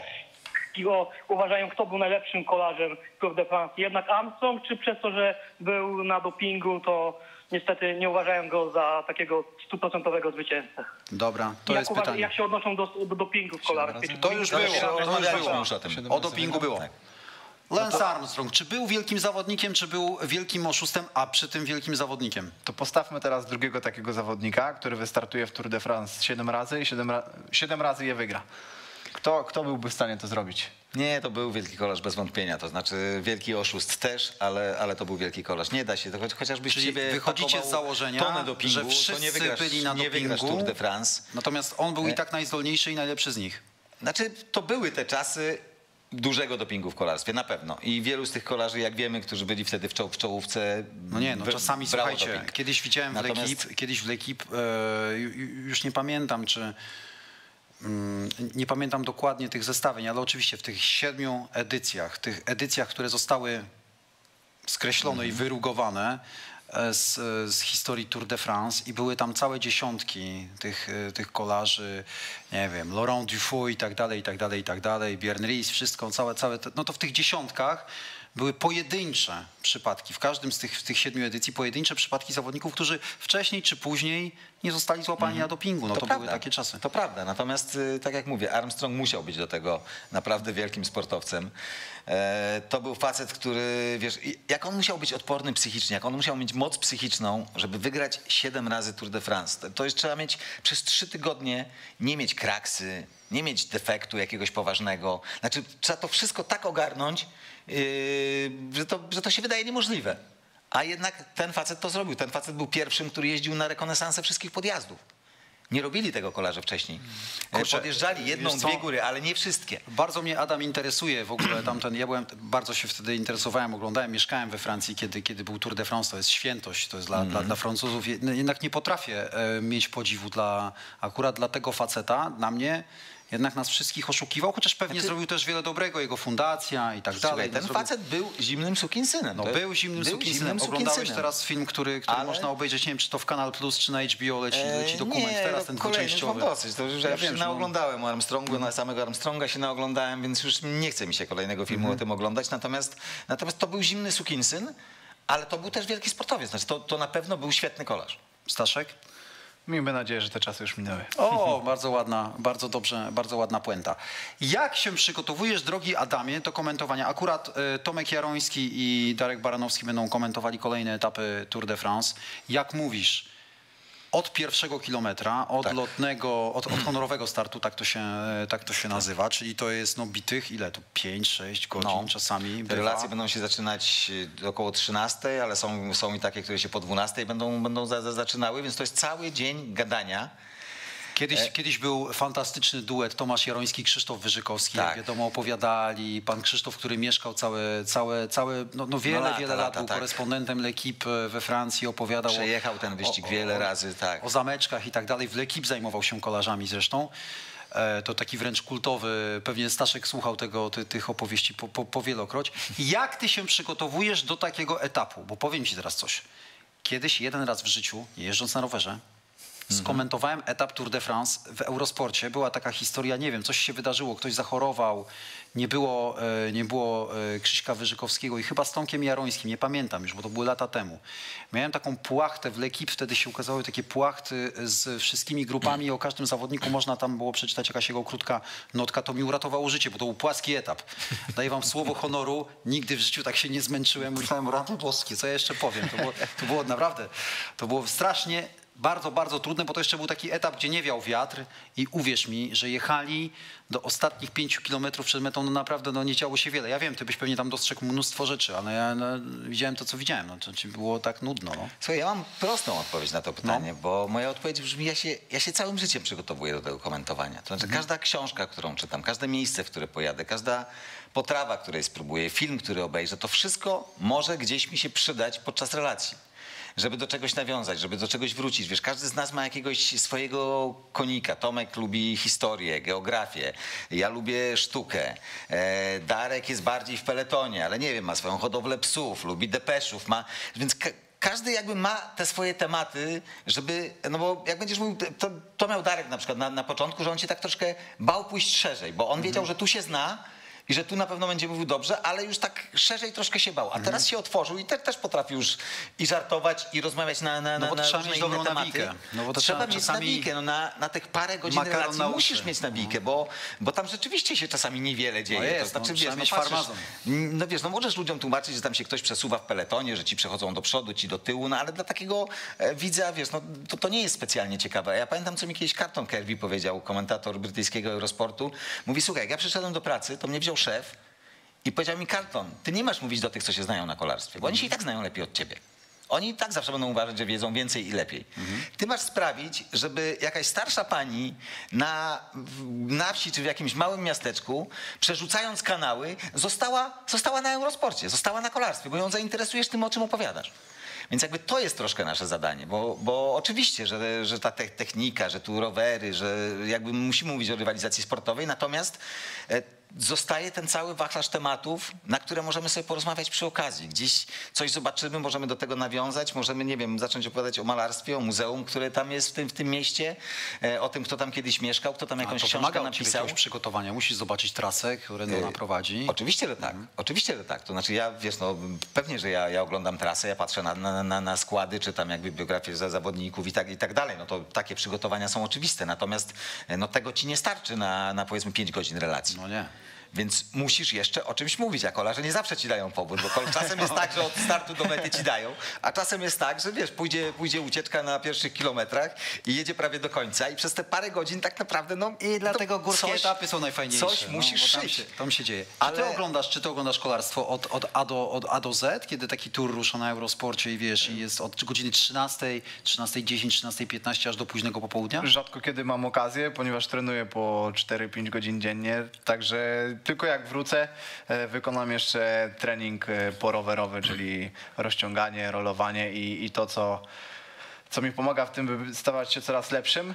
E, Natomiast oglądam. No, to są niesamowicie ciekawe historie. To nie jest tylko opowiadanie o, o tym kolarstwie. Tak jak mówiłem, można obejrzeć taką relację, dowiedzieć się e, czegoś więcej o danym mieście, o danym regionie i zakochać się w tych miejscach, czy później ustalić sobie e, cel e, jako wakacji spędzenia w takich regionie. No myślę, że, Nie że wakacji, te relacje... tylko ty masz sobie ustawić cel, że za rok ty tam jedziesz. Tak, tak. No, dla mnie tak, ale dla, dla wszystkich widzów i, i oglądających myślę, że, że jest to też nie lada gratka. No to jest fantastyczna promocja kraju przede wszystkim. No, kolarstwo jest rewelacyjną promocją kraju. Wiesz, ja, ja na przykład ja uwielbiam Włochy, dlatego ja też Giro najbardziej lubię i, i, i to, to jest mój wyścig w tym, w tym roku. Tak, tak jesteśmy właśnie podzieleni, że Tomek z Darkiem komentują w Eurosporcie Tour de France, ja, ja będę komentował Giro d'Italia. E, i, I to też jest fajne, bo, no bo ja też mogę te swo, trochę tych swoich Włoch sprzedawać, tego co ja tam przeżyłem, tego co ja tam lubię, e, tego co mi tam smakuje. E, jakby tego wszystkiego można troszkę ludziom sprzedać i to jest, i to jest fajne, to, to, to, to, to jest przyjemność. No poza, poza wszystkim innym, no może to ten... Młodzi jesteście. No ja kolarstwo śledzę, jak sobie ostatnio policzyłem, od 45 lat, więc to też jest troszkę wiadomości. No i słuchaj, i dlatego właśnie na koniec tego programu e, mam zabawę w skojarzenia. Staszek, zachęcam, jeżeli będziesz miał ochotę, to, to, to też dołączaj, chociaż będzie padnie parę nazwisk. Ja będę ci podawał nazwiska. E, Będę wam podawał nazwiska, a wy musicie szybciutko mi zareagować, z czym wam się to kojarzy. Naprawdę, takie jedno, no, no jedno hasło, no, takie, takie naprawdę instynktownie, okej? No. Możemy się pobawić? Kilkanaście nazwisk kolarzy. Dobra, zacznijmy od Jasne. czegoś prostego. Wyścig pokoju. Dzieciństwo. Dobra. Ampler. Sprinter niemiecki. Ludwik. Nerdowski. To samo, ale potem jeszcze w zawodowcach też odnosił sukcesy. E, Bernal. Świetny góra, zwycięzca Tour de France. Kwiatkowski. No, myślę, że przykład dla wielu polskich e, sportowców, a przede wszystkim dla młodych e, dzieci, dzieciaków, którzy zaczynają kolarstwo. Jeden z największych talentów w historii polskiego kolarstwa z pewnością. Ino. Borsuk, e, przywódca. On potrafił dowodzić strajkami kolarzy na, na, na Tour de France. Taki, no, niezły charakter. Taki trochę, jak to się mówi, taki, no, ta, taki trochę bandyta, chociaż nie sprinter, no. Związki zawodowe. O, o, związki. On mógłby Tak. być liderem związków zawodowych. Majka. Rafał Majka, no, król polskich gór. Walczak. Merks.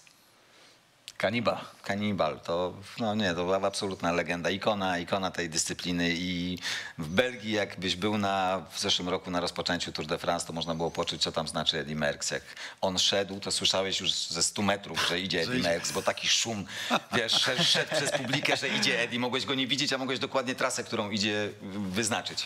Fignon. Inteligent. Inteligent, też świetny kolarz, taki bardzo też potrafiący świetnie czytać wyścigi. No i wielki przegrany oczywiście, oczywiście Tour de France tej czasówce, tak, z Le Mondem, tak. Halupczok. No to kolejny, kolejny jeden z największych talentów. Jeden z takich ludzi, jak y, mówiliśmy dzisiaj o Remko, że się nie zakwasza, to o Halupczoku też tak trochę mówiono, że to był facet, który potrafił przyjechać na zgrupowanie po...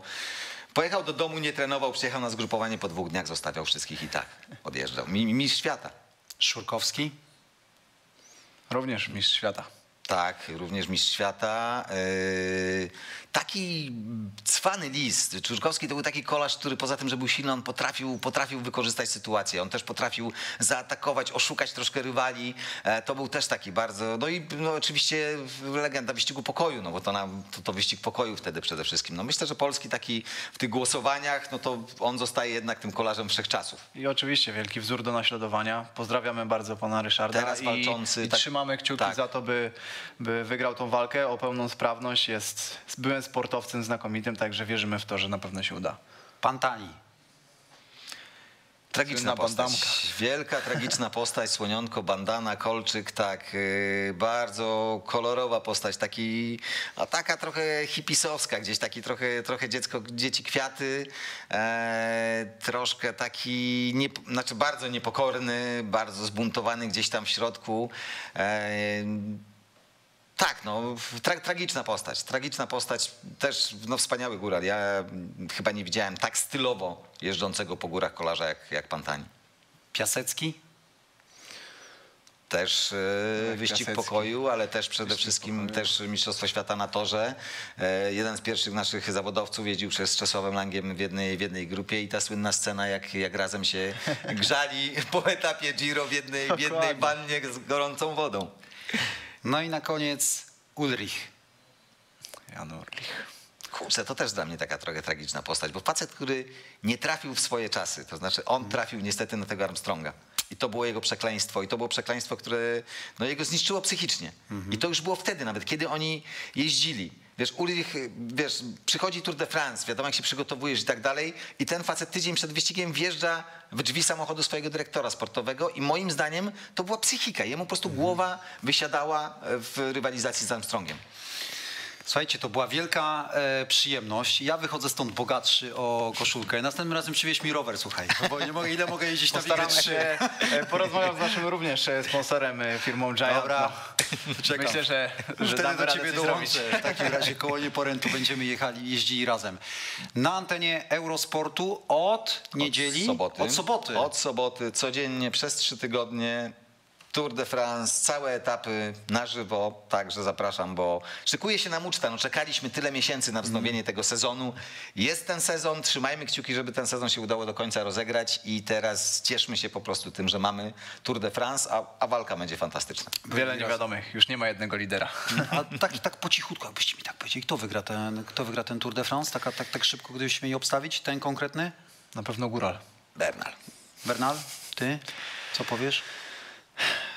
No myślę, że też Bernal, że, że warto postawić na ubiegłorocznego Drugi raz, drugi raz z rzędu. Zobaczymy.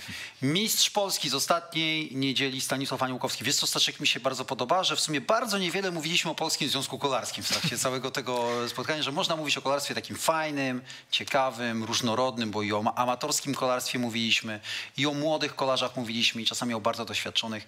Bardzo się cieszę, że miałem was y, dzisiaj razem y, w studiu. No to, była była wielka- właśnie ta to była zabawa, no. To była właśnie ta zabawa kolarstwem. No, trzeba się tym trochę bawić. No otóż to. I zobaczcie, zrobiliśmy program, który trwał 2 godziny 15 minut, to jeden, jak, jak etap kolarski, prawda? jeśli tak, tylko ty, jeszcze- tak długo tak, jechałeś tak. tam prawie Jeśli tylko jeszcze ktoś nas oglądał, to się bardzo cieszymy. Ja też bardzo dziękuję za zaproszenie i mam nadzieję, że, no, że kolarstwo będzie, będzie gdzieś tam obecne w kanale. Ja ci i, powiem, i że że nawet za kilka tygodni chętnie bym się z wami umówił, że na przykład sobie już wtedy porozmawiać po jednym turze, przed drugim turem, może gdzieś tam sobie zrobimy, pogadamy o tym, już poza anteną. Okej. Trzymajcie się, dobrej nocy, to był Hate Park w bardzo, ale to bardzo dobrym składzie. Dobrej, Dobrej nocy. nocy. Na zobaczenie. Pozdrawiamy.